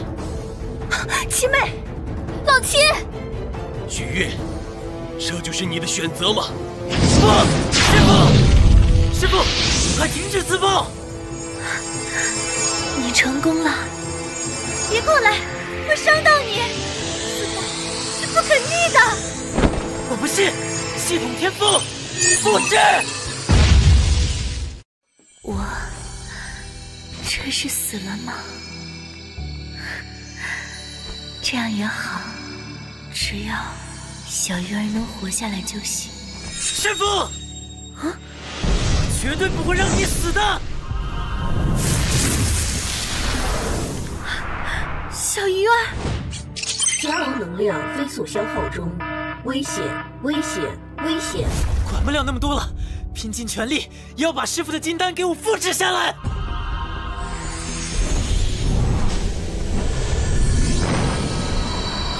成功了！啊！啊！这啥情况？我去！啊，小鱼，这是宿命吗？什 什么宿命？我感觉到了自己金丹和你的联系，也感觉到了你身体对我的吸引。是是是是是是这样吗？我不想抗拒宿命，所以，危险！危险！危险！检测到宿主潜能能量在疯狂上涨，已超过身体承受极限。滚！七师妹，这是定数吗？我原初圣地所有排名单数的师兄妹都要死。在成为强者的路上，总归有人要牺牲，要么是你们死，要么是我死。是时候了，开启大龟须牵引阵法。来了！不好，他们想要利用牵引之力将熔岩珠从岩浆中吸出来，我去阻止他们。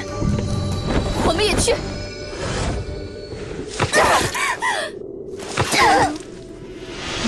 没用的，你们金丹境的人已经不够了，没办法突破大龟须牵引阵法。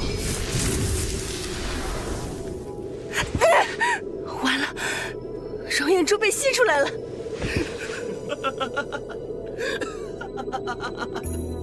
我终于得到熔岩珠，我终于能够突破金丹境最后的壁障，打破这片天地的束缚了。你高兴的太早了吧？七妹，大师兄，小鱼，你好歹也先给我找件像样的衣服啊！事出紧急，我没带那么多衣服。师傅，你的金丹刚恢复，还不稳定，先在这里休息吧。你还叫我师傅？那以后我就叫你月儿，可以吗？好。月儿，在这等我，我先去解决了赵星辰。好，你要小心。英雄和七长老这是？啊！他们俩，老七都被你们看见了，羞死人了！啥？什么情况？呃，一分钟、两分钟，大师兄完事的速度有点快啊。呃，不过毕竟第一次嘛，也可以理解。啊？呃，我啥都没说。真没想到，许月最终竟然便宜了你这个小废物。哈哈，你马上就会知道谁才是真正的废物了。哼，这么年轻就能够突破到金丹境，你的确算是有两把刷子，不过也仅此而已了。你连突破大阵、触碰到我的资格都没有。那你就瞪大狗眼看好了吧！我就说你不行！什么？这大阵防护罩连金丹奇境都破不开，你居然一拳就能砸碎？这怎么可能？因为我要打砸碎嘛，所以自然一拳就砸碎了。我死！不好！他一拳能砸开大龟须牵引阵的防护罩，我绝对挡不住。星辰，你快去融合熔岩珠，我带人挡住他。好。江鱼儿，就算你再厉害，也不可能片刻间摆脱我等。只要我们坚持到星辰成功融合熔岩中，到时就是你的死。啊好强！什什么？只剩你一个了！啊，星辰，救我！逃不掉的！霍言，救救我！对不起了，霍言，我之后一定会杀了江玉儿，给你报仇的。什么？啊！赵星辰，我诅咒你不得好死！熔岩珠，你是我的了！不好，赵星辰要得到熔岩珠了！可恶，我们没有力量去阻止他。现在怎么办？我吸收了熔岩珠突破，江鱼儿，你们全都要死！不好意思，熔岩珠是我的。你是谁？我怎么从来没有见过你？我只是一个不起眼的无名小卒。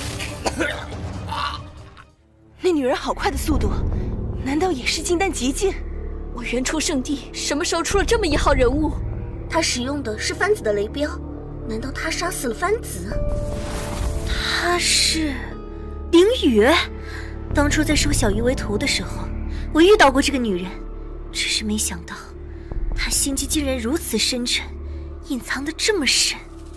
走，我们去见见我们的大师兄。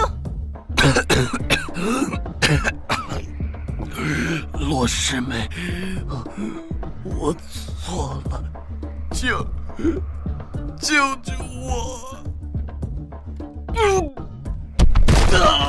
救你！我送你上路还差不多。这一拳是因为你无耻陷害我，这一脚是因为你背叛圣地，这一巴掌是因为你一直恶心的觊觎我。赵师兄，周师妹，你来救我了吗？我就知道你是最爱我的。从今以后，你就是 大夫人。不，从今以后我们就是姐妹了。姐妹，我这就帮你断子绝孙。啊，终于结束了。我不甘心啊！如何吞噬？不好，林雨在融合熔岩珠，他想要学习赵星辰，依靠熔岩珠突破金丹极境，打破这片天地的桎梏。小鱼，快打断凌雨，不能让他融合熔岩珠。好，你们帮我拦住江鱼儿片刻，待我突破金丹极境之后，带你们飞升上界。什么？江鱼儿很厉害呀！我不想永远困在这片世界，拼一把！赵星辰和霍言已经死了，我们只能追随这个女人了。江鱼儿，给我站住！敢拦我，找死！小鱼，给我滚！他太强了！凌云，今天我们就算算总账吧。